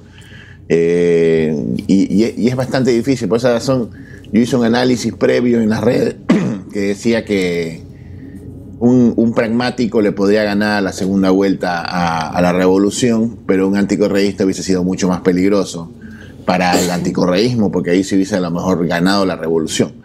Entonces, lo que vimos en, a lo largo de la segunda vuelta, dos meses hemos, hemos visto la paralela más larga de, de, la historia de las elecciones, porque mm, básicamente donde empezaron casi que terminaron, ¿no? No, lo, no logró por ahí, a lo mejor al final se achicaron un poco de, distancia, no fue la tal paliza que se programó, pero siempre fue una distancia bastante, eh, bastante larga. Eh, una carrera de resistencia para Novoa, que a veces tomaba caminos experimentales, que yo fui bastante crítico con aquello, porque decía, no, no te subas a la tarima porque ahí te va a ganar la revolución. Luego al final le logró retomar post-debate, se dio cuenta que hubo un desinflón ahí y logró tener acciones que lo alejaron otra vez de la política, lo pusieron en la tendencia y finalmente terminó consolidando el resultado de la paralela que la, la hemos visto todos, ¿no? A ver, una cosa que quería comentarte, Carlos, y no sé si coincidas, ¿no? Eh, como no confrontaba, Daniel Novoa se tomó el cuidado de elegir los medios a los que iba. En consecuencia, generalmente nunca tuvo debates con, periodistas, sino que iba a medios donde regularmente le iba bien, porque no había, no había ningún contradictor, por decirlo de alguna manera. ¿Es una estrategia que, que le funcionó o no? Bueno, él llegó a, esa segunda vuelta precisamente por tener ese, ese cuidado de, de, no irse a quemar, de no sobreexponerse. Nótese que lo vimos eh, desde el inicio, que no se quería reunir con ningún líder para no captar ningún tipo de percepción a, a rato fue crítico incluso con los actores políticos, eh, muy crítico, para mantener todavía ese discurso de que él es totalmente apático a la política, ¿no? Y es un líder bastante diferente.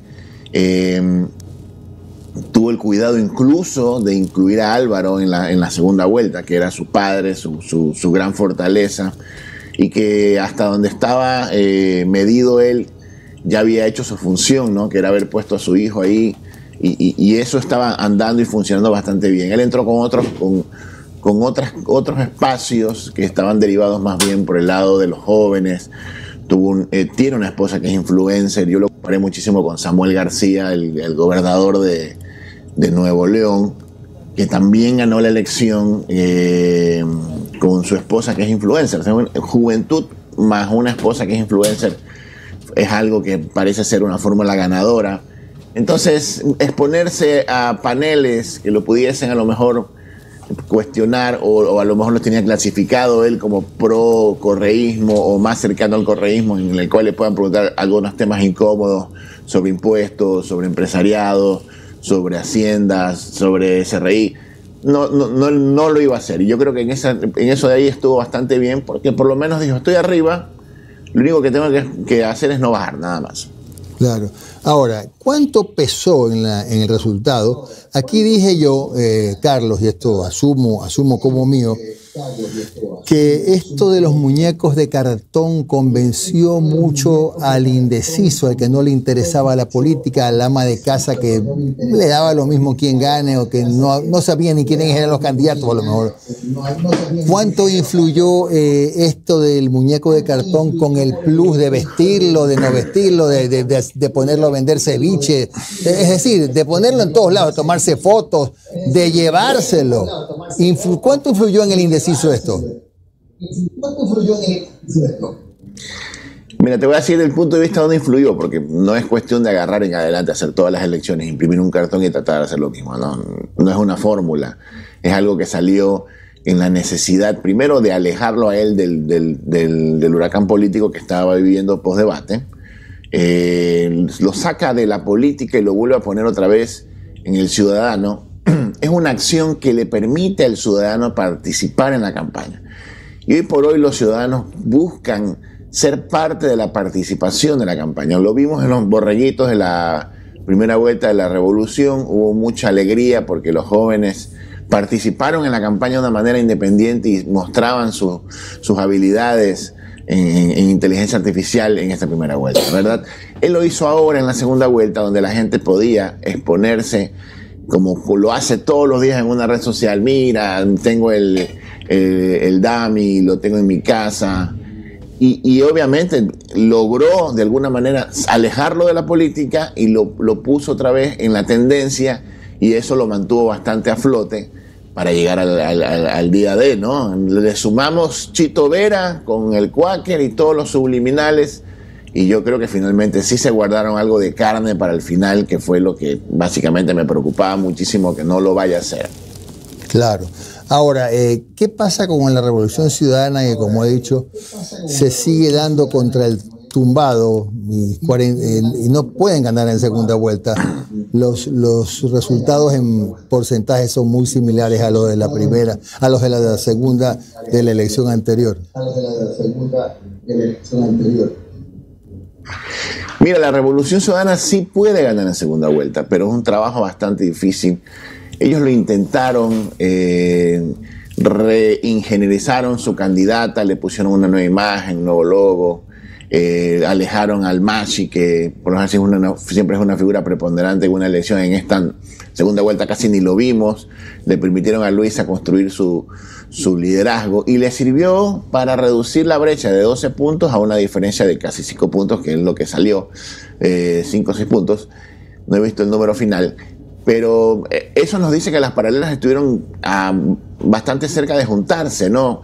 Te pongo un caso, por ejemplo, Luisa en la, en, el debate fue eh, bastante significativo su cambio y, realmente sí le sumó de alguna manera a, haber mejorado en eso. Pero en definitivamente era el animal político que todos conocemos, la revolución, los códigos, eh, los spots, casi como que no quisieron correr demasiados riesgos y eso es peligroso también, cuando, cuando no te atreves a correr demasiados riesgos y es una pelea del todo por el todo. Es mejor equivocarse peleando que no haciendo nada, ¿no? Y también puede ser que ah, hubo a lo mejor, eh, eligieron mal las brújulas. Yo eh, vi algunos mensajes del Machi cuando vio las, las encuestas de Comunicaliza, decir que eso estaba acordado. Entonces, cuando te empiezas a equivocar de ver los números, yo prefiero siempre ver los números del, contrincante, por, para, si me dicen a mí que van a aparecer en el campo de batalla con 10.000, yo llevo 20.000. Pero si era mentira y llevaron 300 y yo llevo 20.000, les doy una paliza. Así de simple, eso, eso tienes que hacerlo de esa manera. Y, empezar a hacer, modificar. En ciertos puntos debieron haber experimentado, obviamente, cosas que, que hacían que no se movía la aguja, debieron tomar decisiones ahí. Pero la, coyuntura de competir contra un joven que no es tu enemigo, que es más ciudadano, que no es el anticorreísmo, que no es un, eh, un, némesis tuyo, te la pone difícil también. Carlos, buenos días. Nariz Arroyave te saluda. Eh, ¿Qué crees que debe pasar ahora para que ya que la campaña electoral terminó, Daniel Novoa es el nuevo presidente, ¿qué debe conseguir dentro de este nuevo gobierno para seguir conectando comunicacionalmente con la gente, pero también tener acción política real y que no pase lo que le pasa a Guillermo Lazo en este momento? No pase lo que le pasa a Guillermo Lazo en este momento. Bueno, todos los ciudadanos que, que pusieron eh, la opinión a pensar que la, que la muerte cruzada fue la mejor solución eh, a los problemas políticos que viene acarreando el gobierno de Lazo, que era que se vaya Lazo y que venga alguien nuevo, ¿no? Todos deberían darle un espacio para que el presidente nuevo electo eh, haga lo suyo. Yo recuerdo. tenemos 19 meses, más o menos. Bueno, cuando llegó Rafael Correa a la escena, lo dejaron hacer lo que él tenía que hacer y empezó a demostrar que puede hacer cosas. Entonces es cuestión de ponernos 100 días a ver si este presidente tiene sus trucos bajo la manga y si le empiezan a funcionar. Pero si empezamos a empezamos a, gobernar desde las redes sociales, a ser crítico en todo lo que hace, no, ese, ese ministro no me gusta porque es correísta y conoció y su mamá eh, tiene una foto con Correa. Empezamos otra vez en el mismo desastre donde le empiezan a llegar mensajes al presidente y empieza él a cogobernar con, con la audiencia, como lo hizo Lazo, no me gusta ese secretario de comunicación y, no lo dejan gobernar. Entonces yo creo, creo que lo mejor es que todo mundo, ya lo anunció Luisa ayer, que lo iban a dejar gobernar y que lo iban a apoyar en todo lo que sea positivo para el país, pero ojo, también le pusieron una advertencia de que todo lo que también sobreprometió iban a, velar que también lo cumpla y anunciaron que el 25 están de vuelta. Así que por ahí tiene unos, unos meses libres para arrancar y, y lo que tiene que hacer es arrancar espectacularmente bien, no con aciertos a corto plazo, sino con decisiones que creen bienestar. Entonces hay que bajar las armas desde la prensa, la ciudadanía, darse la razón de que definitivamente ahora que ya hay un gobierno nuevo, darle un espacio para que arranque. Carlos, y la Asamblea en estos, en estos 19 meses aproximadamente va a tener un papel fundamental, incluso en el escenario electoral del 2025, porque una de las cosas que se decía es la Asamblea no dejó gobernar a Guillermo Lazo. ¿Cuál debería ser, desde tu perspectiva, la posición de la RC dentro de la Asamblea, entendiendo que van a tener que entrar también en campaña en el 2024, ya mismo?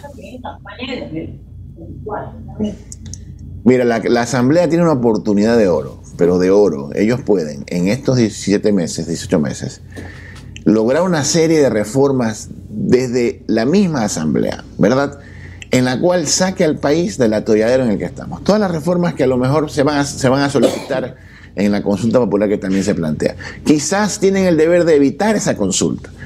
Pero si empezamos a ver una asamblea en la cual llegando empiezan a, verse las agendas, que ahora sí vamos a enjuiciar a Guillermo Lazo y a los anteriores ministros y a los helenistas, entonces todos nos vamos a quedar, wow, otra vez va a empezar lo- el, mismo loop de no llegar a ningún lado. Entonces las agendas deben ser eh, constructivas.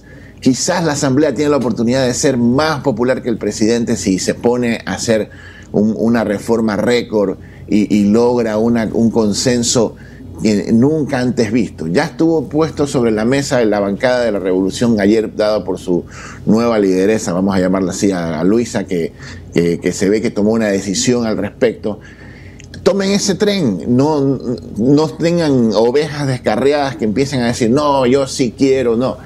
Pónganse a trabajar en, las reformas de ley, para los temas de seguridad, para los temas de- de todo lo que se necesite, y al terminar la gestión, todos van a ser reelectos. Eh, Carlos, ¿y tú crees, ya hablando de la RC, que debe replantearse ya considerar otro nuevo candidato o Luisa González debería continuar en, en- este escenario electoral? Porque una de las cosas que se ha visto de la RC es que vienen elecciones y en ese momento vamos buscando quién es el candidato y no importa porque Correa está atrás. ¿Eso sigue funcionando? Sigue funcionando. Bueno, mira, eh, en sistemas políticos como por ejemplo el mexicano, donde realmente el, rey es la organización política, no importa el candidato, ¿no?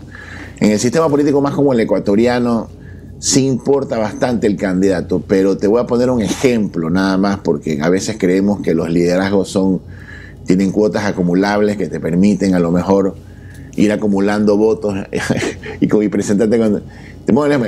Yacu y Herbaz en, la, en esta elección, que quedaron en la cola de la elección, dos candidatos jóvenes en, políticamente que entraron a la palestra eh, con buenos resultados en el 21, tuvieron los peores resultados en el año en este año. Eso quiere decir que la gente está buscando nuevos liderazgos y vamos a ver una papeleta 100% renovada para el, para el 25. Es posible que a lo mejor sí le toque a la revolución replantear sus liderazgos y poner a alguien emergente. Lo malo es que no lo hacen eh, a la víspera, pero no lo hacen con tiempo, sino que lo hacen a la víspera y uno tiene que estarlo conociendo a última hora. Empiecen a trabajar desde ahora en su nuevo liderazgo, vean cómo van a llegar a una interna, eh, pongan dos, tres, y ahí analizan si va a quedar o no eh, Arauz, si va a quedar Luisa, si va a quedar un Abraham Verduga, que yo lo tengo postulado desde el 21 a Verduga en el 25. Y cre- creería yo que, que les va a ir mucho mejor, mucho mejor porque van a empezar a trabajar sus liderazgos desde ahora.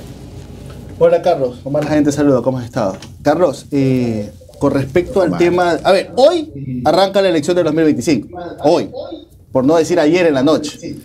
Eh, eh, ex candidatos, ex candidatos eh, salieron como decir, hola, aquí estoy, perdidos, al electorado, le dice, hola, perdidos, aquí estoy, no me olviden, a la vuelta de la esquina tenemos elecciones. Eh, ayer reapareció el nombre Carlos Rabascal, eh, el nombre Abraham Verduga, el propio Leonidas Giza, que ayer sonó, dice, bueno, él estaba preparando su, su pista para el 2025, pero ahí los resultados parece que no, no le acompañaron mucho. Eh, ¿Cómo ves ya esta campaña que arranca hoy, extraoficialmente? ¿Cómo ves ya esta campaña que arranca hoy, extraoficialmente? Bueno, en 2025 volvemos a la papeleta de, de 17 candidatos porque ahora lo que se veía un poco como disciplina política o madurez política, lo que fue alguien que nadie se quería hacer cargo del país en, poquitos meses. O sea, hubo menos candidatos. Entonces la oferta va a crecer en candidatos emergentes, en los que ya se consolidaron en esta elección, y, viejas figuras que vuelven a la, elección a ocupar ese espacio, porque eso es un espacio ahí, o sea, no es no es que no está, no es que tienen el 100% de lo nuevo, hay un espacio para cada cosa, ¿no? Entonces, si la revolución obviamente le va a apostar a ganar en una sola vuelta, etcétera, etcétera, etcétera, vamos a seguir viendo un loop de lo que ha venido pasando en, los últimos tiempos. Pero en efecto, empieza la carrera electoral y empezaremos ya a ver eh, estos nuevos críticos del nuevo gobierno a pedir micrófonos y, tenemos que ver cómo te empiezas a manejar desde ya. Yo pienso que habría que hacer un análisis, eh, un análisis real de lo que quiere hoy eh, antropológico, sociológico, psicológico, político, de lo que, lo que están votando los electorados hoy por hoy, antes de entrar a la, a la carrera política, porque lo que vimos en la última elección es que de los políticos nada. Entonces, vamos a ver si lo nuevo llega a decepcionar, a lo mejor terminan volviendo los políticos. Entonces también es una gran, es una gran oportunidad para el nuevo presidente de consolidar que las cinco campañas de los Novoa, más esta que ganaron, sí valieron la pena a la larga, ¿no? Ahora, Carlos, de los siete, bueno, ocho con el reemplazo de Villavicencio que estuvieron en la papeleta el 20 de agosto, ¿cuántos crees que repetirán en 2025? ¿Cuántos crees que repetirán en 2025? A ver, pienso que va a repetir, eh, obviamente, Jan Topic. Eh, le doy un 50 y 50 a Otto, porque, porque si no se presenta, ya eso será un retiro político. Tiene que presentarse, aunque sea un Abraham Lincoln que pierda muchas veces, eso no importa. Uno en política tiene que resistir, no está aquí solo para esperar que las puertas se abran mágicamente, ¿no? Tienes que, tienes que pelear. Eh, yo creo que Herbaz ya no lo vamos a ver más. Posiblemente Yaku sí, no sé dónde, porque yo no sé ya los espacios se determinan. Eh, y obviamente van a haber eh, pienso yo que el reemplazo de Villavicencio es la figura de Andrea eh, González, una figura femenina que es más cercana a él y que está encargada de llevar esta nueva bandera del villacencismo que le dice ella. Eh, es una lucha válida, una lucha válida con, una especie de, de, de, galán que está atrás, ¿no? O sea, ese luchador que, que quedó en el camino porque ya una vez que ya te conviertes en ese mito, todo, todo lo que estaba alrededor ya no existe más. Y obviamente veremos nuevos candidatos que creerán que esto es cuestión de presentarse y ganar, porque vieron el fenómeno de Daniel Novoa. Lo veremos a Daniel Novoa y veremos a la Revolución Ciudadana. ¿no? A Carlos Rabajal. sí. Porque Carlos Rabajal. Eh, Carlitos Rabascal eh, a mí me encantaría ver una papeleta, pero él, él, funciona dentro de la revolución ciudadana, no es su base real, salvo que él empieza a construir un, nuevo frente, eh, un poquito más alejado de la izquierda y más hacia el pragmatismo, pero tendría que hacerlo desde ya, es muy difícil presentarse en la víspera. Cristina Reyes, ¿cómo la ves como una posibilidad? Reyes, ¿cómo la ves como una posibilidad? Cristina Reyes, no quisiera pensar que se le ha pasado su momento, pero siento que todavía no da señales de arrancar. Siempre está en su creando más conocimiento, en sus contenidos. Ahora la vimos entrar con una campaña sobre el apagón. Son fórmulas, ¿no? Eh, no la veo yo todavía poniendo en firme eh, creo que ella tiene que decir, voy a ser candidata en el 25. Claro, pero el perfil de ella, ¿cómo lo ves dentro de este escenario electoral? ¿Cómo ves este escenario electoral? O sea, sí, lo podemos ver, digamos que va a haber un poco un menú de todo un poco y a veces, a veces uno dice, chuta, no sabía que quería esto y, a lo mejor puede conquistar su espacio. ¿no? Lo, único que no puede hacer es dejar de ser ella misma ni ser auténtica. Claro, gracias a Carlos Ferrín, consultor en comunicación política. Muy amable, Carlos. Gracias. Carlos. Gracias. Saludo a todos, gracias a ustedes. Bueno, continuemos. Vamos a recordar dos, tres episodios de lo de, lo de ayer. Daniel Novoa sufragó en la unidad educativa Antonio Moya Sánchez. Él votó en Olón. Decenas de militares rodearon los exteriores de la unidad educativa Antonio Moya Sánchez, ubicada en la provincia de Santa Elena, en Manglar Alto, establecimiento educativo donde el candidato presidencial por el movimiento ADN, Daniel Novoa Sin, ejerció su derecho al sufragio. Varios simpatizantes del candidato estaban atentos a su llegada. Y con un fuerte contingente de seguridad, en un carro blindado y chaleco antibalas, arribó la provincia de Santa Elena junto a su esposa Lavinia Balbonesi. Novoa bajó del vehículo y tomó todas las medidas de seguridad entró la unidad educativa con resguardo militar, donde la prensa tuvo un acceso limitado. El presidenciable se acercó a los miembros de la Junta Receptora del Voto, donde le entregaron las papeletas correspondientes. Novoa se dirigió al lugar de votación y antes de colocar la papeleta en la urna, con una sonrisa en su rostro mostró a los medios de comunicación su voto. La prensa esperaba que el candidato a la presidencia, Daniel Novoa, emita declaraciones, pero debido a la seguridad que lo rodeaba, los medios de comunicación no tuvieron acceso a ellas. Sin embargo, en medio del personal militar y la seguridad privada del candidato, declaró lo siguiente al Ecuador de que hoy hemos celebrado una democrática y se hará respetar la voluntad del pueblo, de que la gente quiere ser impunidad, la gente quiere progreso, la gente quiere empleo y los jóvenes quieren una esperanza. Hoy ganamos. Con la frase Hoy ganamos, subió inmediatamente al vehículo junto a su esposa para dirigirse al lugar donde esperará los resultados de la segunda vuelta electoral. Bueno, son las 7.31 y antes del corte, Luisa González ejerció su derecho al voto en la parroquia Canuto, provincia de Manabí. La seguridad fue lo que primó en la votación de la candidata Luisa González, pues desde su arribo al colegio Carlos Pomerio Zambrano hasta en el momento que sufragó, estuvo escoltada por las Fuerzas Armadas y acompañada por Andrés Arauz y el prefecto de Manabí, Leonardo Orlando.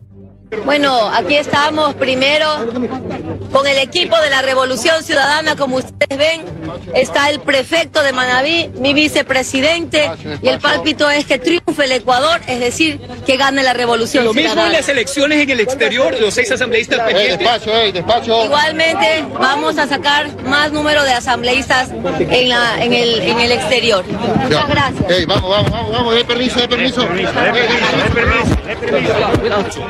González ingresó a la Junta Electoral para ejercer su voto. Primero saludó a los presentes, se dirigió al biombo para sufragar. Y depositó la papeleta en la urna.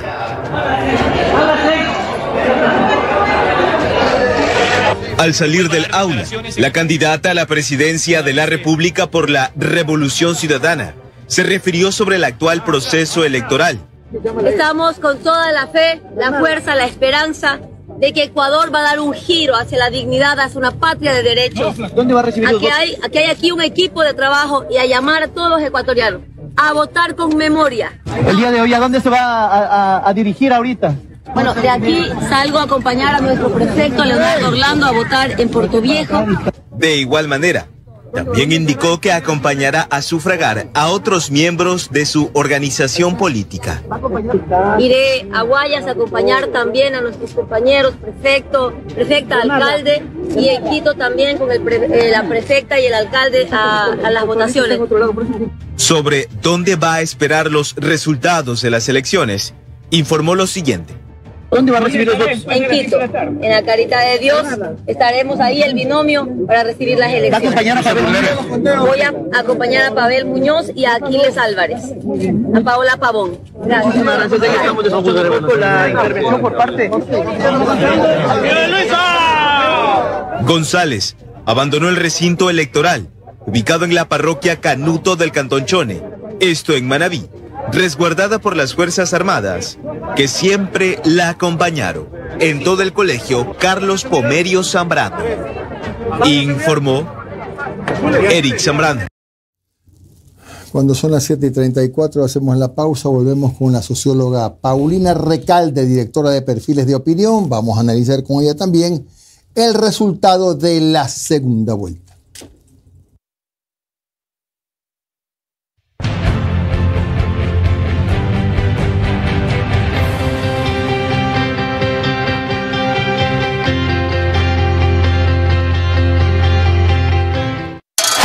Sé parte de un café con JJ.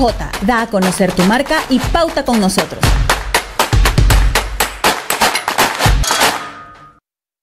Todos estamos expuestos a contagios y enfermedades, y nuestro sistema inmunológico cumple un papel fundamental para protegernos. Por eso es importante fortalecerlo con dos cucharadas al día de Triple C Forte, una poderosa fórmula de mil miligramos de vitamina C, vitamina D3 y zinc, tres componentes que actúan como línea de defensa inmunológica para proteger tu organismo de virus y enfermedades. Porque familia protegida vale por tres. Triple C Forte, la fórmula más efectiva para cuidar tu salud. Un producto de Nature's Garden.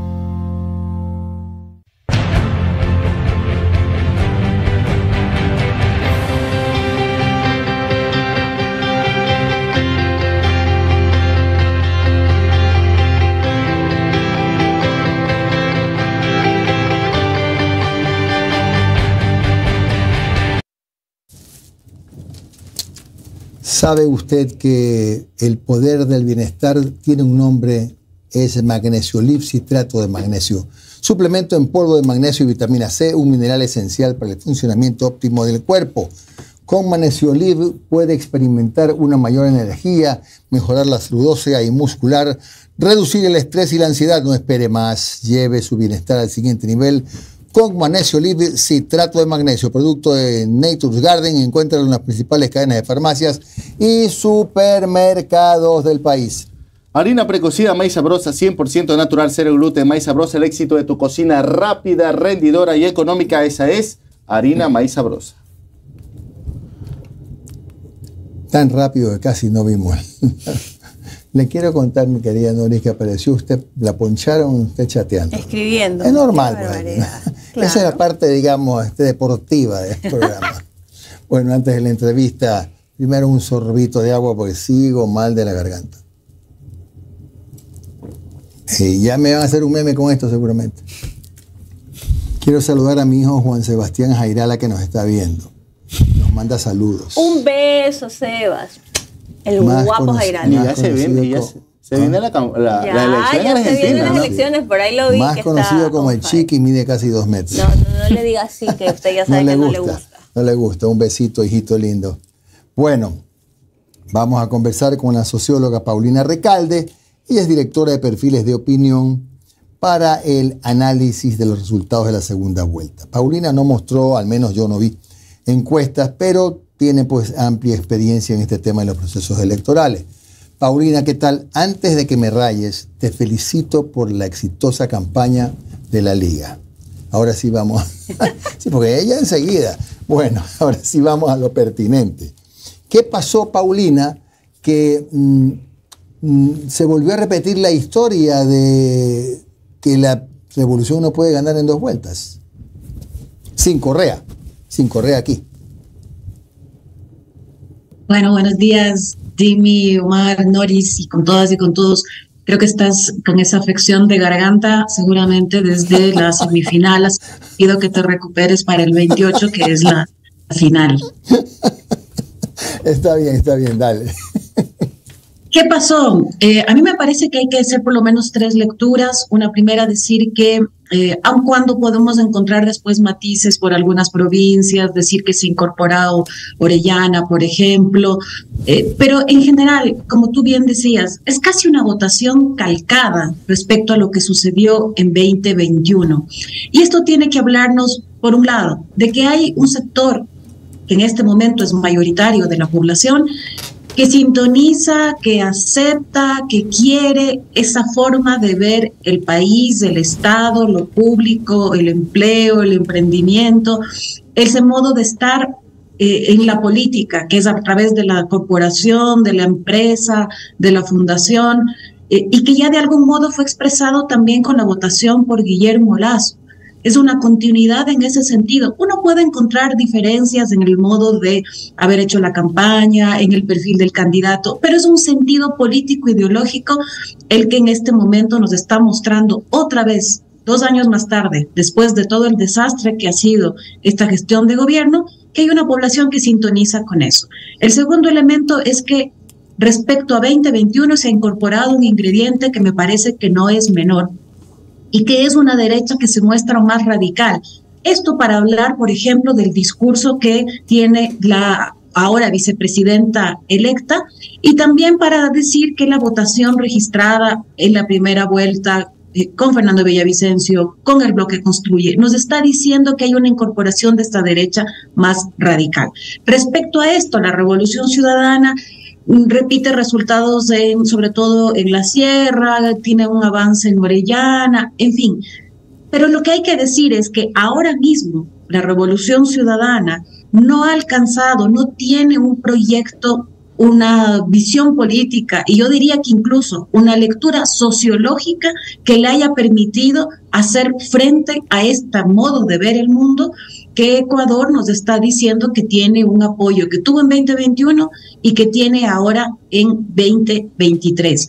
¿Es solo la revolución ciudadana? No, yo diría que es la izquierda en general, porque se le está pidiendo a la revolución ciudadana que amplíe, que dialogue, que, eh, que seguramente esto pudo haber tenido otro resultado como un frente, pero la situación de Pachacutic, la situación de la CONAI, la situación de las organizaciones sociales no es mucho más eh, victoriosa, digamos, si es que pensamos que esta, esta, esta expansión de este sentido político en Ecuador viene tomando forma sin que del otro lado alcance la disputa como para que no haya este triunfo otra vez en 2021 después de todo lo que ha pasado en estos dos años.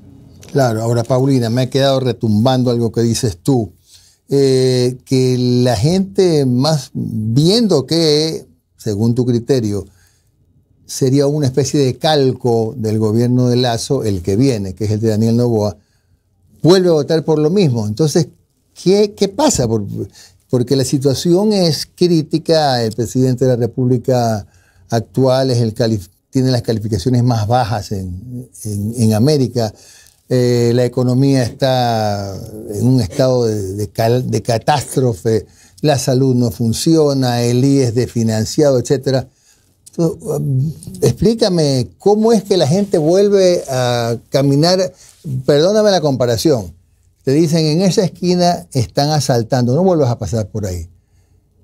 Fuiste y te asaltaron, regresaste y te vuelven a decir lo mismo y vuelves a pasar por ahí. ¿Cómo es eso? Bueno, esperemos que la gestión de gobierno no sea necesariamente un calco, porque si, si es un calco, realmente la situación del país da como para alarmarse aún más. Eh, esperemos que haya acuse de recibo de Novoa y quienes estarán en el frente del gobierno en este, en este año y medio, para no seguir la misma senda, porque de lo contrario, realmente no, no, no hay país que, que resista, no hay país que quede parado para 2025. Eh, pero ¿qué matices pudo haber visto la, población? Eh, bueno, insisto que hay, hay una comunión con un modo de ver el mundo, con un modo de leer el país, con un modo de leer el Estado. Esto está, parece que esto es innegable. que pudo haber visto de distinto, pudo haber visto de distinto a un candidato eh, con algunos elementos renovados, pero algunos elementos renovados dentro del mismo campo de la derecha. Quiero decir que sobre todo buscó no polarizar, esto lo diferencia con eh, lo que venía haciendo de algún modo la derecha en el discurso de las campañas anteriores y sobre todo también en el discurso de Guillermo Lazo. Eh, pensemos en el modo en el que trató y que trata a su oposición por derecha y por izquierda, pero con mucha más severidad cuando, cuando habla de las figuras de izquierda. El candidato Novoa no polariza, no es el modo en el que se refiere a sus contrincantes, no tiene tampoco un discurso político muy, eh, muy muy profundo, muy elaborado. De hecho, ayer tuvo un discurso de apenas dos minutos, me parece. Y hay esta visión de eh, una, vida, una vida buena, que es la que nos ha proyectado el binomio y que nos ha proyectado la familia en su conjunto. Es decir, eh, tú estás padeciendo, digamos, del país y, y, estás mirando como el binomio, como el candidato, como la madre, como la tía, como la esposa, eh, tienen una vida buena y una vida, yo diría, hasta una vida linda. Por eso es que además hacen su festejo desde la casa en la playa.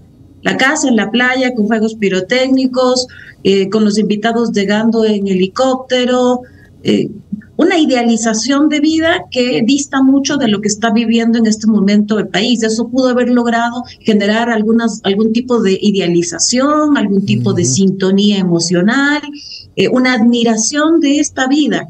Creo que esto también tiene que hacernos pensar sobre qué es lo que estéticamente quiere y está consumiendo el ecuatoriano en términos de política. No es el partido, no es la organización, no es la militancia, no es, no es una tarima, no es un discurso con sus votantes, no, es un discurso y una puesta en escena desde su casa en la playa con sus más cercanos familiares y amigos que, insisto, llegan en helicóptero. Esto tiene que hacernos pensar, insisto, en qué, modo de representación, en qué modo de política, qué modo de estética está apostando el, el ecuatoriano. Y aquí con esto digo, explico en qué podría haber matices el ecuatoriano respecto a lo que planteaba eh, Guillermo Lazo y lo que en este momento representa y plantea Daniel Novoa, apenas en términos estéticos, apenas en términos de menor polarización. Eh, Paulina, mi última pregunta, porque Osmar y Noris tienen también preguntas para ti. ¿Tú concibes a una revolución ciudadana sin Correa? Digamos que Correa dice ya voy a dar paso a un relevo, y ese relevo, digámoslo así, es Jorge Glass. ¿Concibes tú una revolución ciudadana con algún cambio si se diera ese relevo? Es que a mí me parece que no se puede poner solamente en términos de la presencia de ese liderazgo, que es un liderazgo que genera igual, eh, como gran elector, genera una adhesión en votos, una adhesión, una emoción política y demás. Yo creo que el tema no está solamente en la figura, que la figura entre o que la figura salga. Está en el modo de pensar la política y en el modo de pensar cómo se elaboran las campañas y las estrategias que en este momento tiene eh, una centralidad en Rafael Correa, pero además en un expresidente que está en el exilio desde hace algunos años. Y esto provoca una distancia que es insuperable y que no es responsabilidad, digamos, de, eh, suya el estar en, el, en el, exilio, eh, pero sí es una responsabilidad en el querer seguir pensando el país, la estrategia y la política a distancia. Ahí hay un problema, y hay un problema, y hay un límite. Eh, entonces, es el conjunto de la revolución ciudadana el que tiene que repensar a esto que se está enfrentando una y otra vez y que, insisto, no hay suficiente lectura, no hay suficiente lectura sociológica, no hay suficiente actualización del proyecto para hacerle frente a esto otro, que en cambio sí insiste no solamente en renovarse, sino también en ampliarse. Renovarse digo porque hay ingredientes de derecha radical. Entonces, esta centralidad del expresidente Correa, eh, va a decretarse, es decir, va a significar simplemente como no miremos para allá. No, esto no funciona así, pero sí puede salir de la centralidad de la escena el modo de pensar al país desde fuera. Eso, eso sí me parece que queda en evidencia que tiene que suceder en el partido, en la organización. El propio expresidente Rafael Correa también repensar eh, la, renovación de ideas fue una de las características que le hizo posible en 2006 y en los siguientes años tener una presencia en Ecuador. Eh, ¿Qué es lo que no está repensando en este momento? ¿Qué es lo que no está mirando con suficiente atención el proyecto? Y esto lo incluye al expresidente Rafael Correa y esto le puede incluir también al ex vicepresidente Jorge Glass. Es decir, eh, creo que hay que ser muy categóricos en decir que desde la izquierda, desde esta tendencia, no hay suficiente eh, lectura o no hay una lectura capaz de estar a la altura de esto que está al frente. Por eso digo, no le toca solamente a la Revolución Ciudadana, no le toca solamente a Rafael Correa, sino al conjunto de fuerzas que están de este lado de la tendencia, releer que por, qué sucede esto dos veces y en un lapso tan de tan corto, habiendo pasado todo lo que ha pasado en Ecuador. Hola Paulina, Omar Gente saluda, ¿cómo has estado? Buen día. Hola, Paulina. A ver, solamente para dejar las palabras con nombre y apellido. Eh, todo lo que estás acá diciendo en las primeras respuestas es que el Ecuador es derecha. El Ecuador está derechizado. Pues visto los resultados, sí. Sí, sí. sí. No, y también tenemos esta, esta visión aspiracional, ¿no? Yo soy clase pobre, yo soy clase media baja, pero veo al joven con la esposa, eh, estéticos en Instagram y, yo quiero esa vida. Quiero llegar a hacer eso. Quiero, quiero celebrar un domingo en la playa llegando en helicóptero. Sí, yo creo que hay elementos estéticos que, que sí provocan esta idealización, que sí provocan esta admiración. Me parece que incluso esto que a muchos nos puede parecer una, una banalización respecto a la tragedia que vive Ecuador, fue probablemente uno de los elementos que le permitió al electorado y a la población como de algún modo desconectarse, distenderse, generar admiración y generar esta aspiración de que esa sea la vida eh, que pueda tener el ecuatoriano. Eh, por eso es que insiste y no disimula. Fíjense que eh, de algún modo desde la izquierda lo que se ha buscado dejar sentado es, es, un, es un joven heredero, eh, representa una corporación, representa una de las familias más ricas de este país, es hijo de esta familia. y precisamente eso es lo que Daniel Novo ha puesto más al frente. Esto no solamente que no ha sido disimulado, sino que ha sido reivindicado ha sido reivindicado porque toda la comunicación se ha concentrado en eso. A ver, Paulina, perfecto, clarísimo el tema, pero seamos sinceros, o sea, si vamos a hacer una campaña de conciencia de clase entre el electorado, está cuesta arriba la situación. ya el electorado es así. Ya se le exige al electorado que lea las propuestas, pero ya sabemos que el electorado no es así. Entonces, es ya cuestión de las campañas políticas también amalgamarse a eso, le guste o no. Bueno, no, no, no es que se viene dado sí o sí de ese modo y que ya es eh, una, una cosa que no puede eh, cambiar. La, dinámica política, la dinámica eh, del, del, país siempre es posible, de la historia siempre es posible que, que se modifique dando la, la disputa. no significa que lo que haya sucedido en, este, en esta elección va a permanecer el tema es que lo que tiene enfrente la población no tiene los elementos suficientes para hacer que la balanza se incline. Lo que estamos diciendo es que no hay una sociología, no hay una lectura sociológica suficiente del otro lado que le permita adaptarse a esta nueva situación, porque de algún modo se ha reeditado la campaña frente a Guillermo Lazo. Pero lo que estamos diciendo es que entre que ganó Guillermo Lazo y este momento, hay elementos nuevos que nos hacen pensar que ya no es necesariamente la misma fotografía. Yo decía que la presencia de una derecha más radical queda en evidencia con que el discurso de la vicepresidenta electa en ningún momento disimuló esa postura, con que los discursos de quienes han sido electos, por ejemplo, desde Construye, nunca han disimulado esa postura. Esto es un elemento adicional que complejiza el, terreno por derecha y que aumenta el reto por izquierda o por las fuerzas progresistas para leyendo esto hacerle frente de otro modo. Lo que pasa es que se está haciendo frente a esto del mismo modo en el que se hizo frente en 2021. Esa es la cuestión. No puedes seguir enfrentándole del mismo modo cuando ya están sucediendo otros elementos, cuando se están incorporando otros discursos y se están radicalizando esos discursos además. Ahora, Paulina, tú decías el otro lado, ¿no? ¿verdad? Mencionando el otro lado, no solamente la RC. Eh, yo al principio decía que ayer supuestamente ya fue el acta de función de la RC. Si eso fue así, pues bueno, Pachacuti y la izquierda democrática están en el, en el quinto en el quinto infierno de Dante, pues no, ¿verdad? Eh, es verdad, a veces a la RC se le presiona y se le exige de todo que, hay que tenga acercamientos y todo, pero ¿y quién dice cuando Pachacutic votó a favor o en contra del juicio político de Guillermo Lazo? Cuando le hicieron pasillo de honor a Guillermo Lazo, cuando la izquierda democrática también votó con Guillermo Lazo, ¿no? A la RC se le dice de todo y se le exige de todo, pero y a las otras fuerzas de izquierda, bueno, o que dicen ser de izquierda, no se les dice nada, no se les acusa de nada y no se les presiona de nada.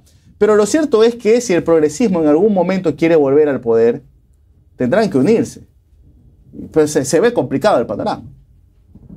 No, no es ni de lejos el acto de defunción de la revolución ciudadana. No puede ser el acto de defunción de una fuerza que eh, lleva sosteniendo una votación, eh, que, no es además una votación menor, 48%, la presencia además fuerte en la costa, el, el avance además en una provincia más en la, en la Amazonía.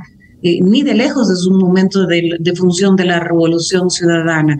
Lo que sucede es que, primero hay que decir, es la única fuerza política, es la única fuerza electoral que en la soledad de la izquierda le ha hecho frente a esto en primera vuelta como una papeleta predominantemente de derecha, eso también tiene que decirnos algo, y en segunda vuelta con una diferencia 48-52, eh, con, insisto, esta presencia en distintos territorios, entonces, esto no significa que ha desaparecido y no significa que va a desaparecer eh, con el resultado. Significa que necesita imperiosamente hacer ajustes en el modo en el que se elige al binomio, en el modo en el que se plantea los discursos, en el modo en el que se maneja la estrategia de campaña, en fin, todo esto tiene que ser revisado. Pero con lo que tú dices, eh, se confirma el segundo elemento que yo, que yo consideraba en la primera intervención, que esto no le toca solamente a la revolución ciudadana, esto le toca a las fuerzas políticas, sociales, movimientos que están ubicándose en la izquierda, en el progresismo, que es lo que ha hecho que la derrota de Pachacutic y el no tener un candidato que represente junio, el, que Leonidas dice no haya podido estar en la papeleta, que en este momento esté en cuestión incluso eh, cuál va a ser el, futuro de Pachacutic. Es un triunfo de las derechas dentro de Pachacutic, también hay que pensarlo. Y del otro lado, ¿qué es lo que hace que las organizaciones sociales, los movimientos sociales, las organizaciones de mujeres no estén en este momento eh, en condiciones de haberle hecho frente a un discurso como el de la candidata y ahora vicepresidenta electa, que es lo que hace que avancen todas estas posturas y que tengan una votación, que no se disimulen y que tengan una votación. Todo esto es lo que tenemos que releer, que si seguimos pensando que es otra vez voy a usar esta frase tan, tan extendida, que es culpa de Correa, nos, nos, vamos a perder todos. Nos vamos a perder todos y no vamos a entender qué es lo que está pasando con la sociedad ecuatoriana, qué es lo que está pasando además en la región. Esto, esto seguramente le hará pensar y temblar a, Argentina para sus elecciones de la próxima semana. Entonces, no se trata de ser trágicos y lapidarios con que una fuerza desapareció, porque esto no sucede de la noche a la mañana. Significa que estamos ante un nuevo momento, ¿sí, Nois? Paulina, buenos días. Este, se habla, cuando hablan de izquierdas y de progresismo, se tiene marcado una idea y, y, hay un concepto de ideología, ¿no? Como más pesado.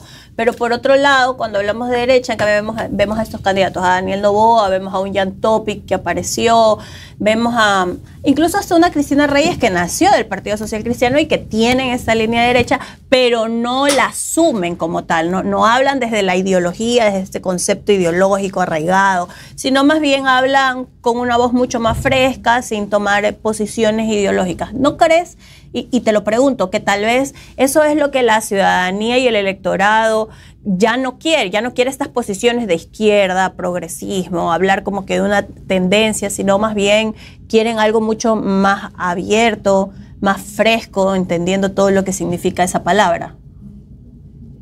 Yo te diría que, que, fuese así en el caso de que el binomio, para hablar de, de Novoa y para hablar de, de, Abad, eh, no se hubiesen referido eh, en sus discursos, en su lenguaje, a posturas políticas claras. Pero me parece que más político ideológico que el discurso de Verónica Abad eh, no, no hay. Es decir, ahí no hay Paulina un Verónica Abad la mandaron al exilio prácticamente, o sea, la, la, sacaron de la campaña por lo mismo. ¿Tú crees que realmente el discurso de ella caló en el electorado o la gente se centró en, en toda esta campaña hasta cierto punto superflua y, y se olvidaron de que existía esta, este personaje que ayer reapareció?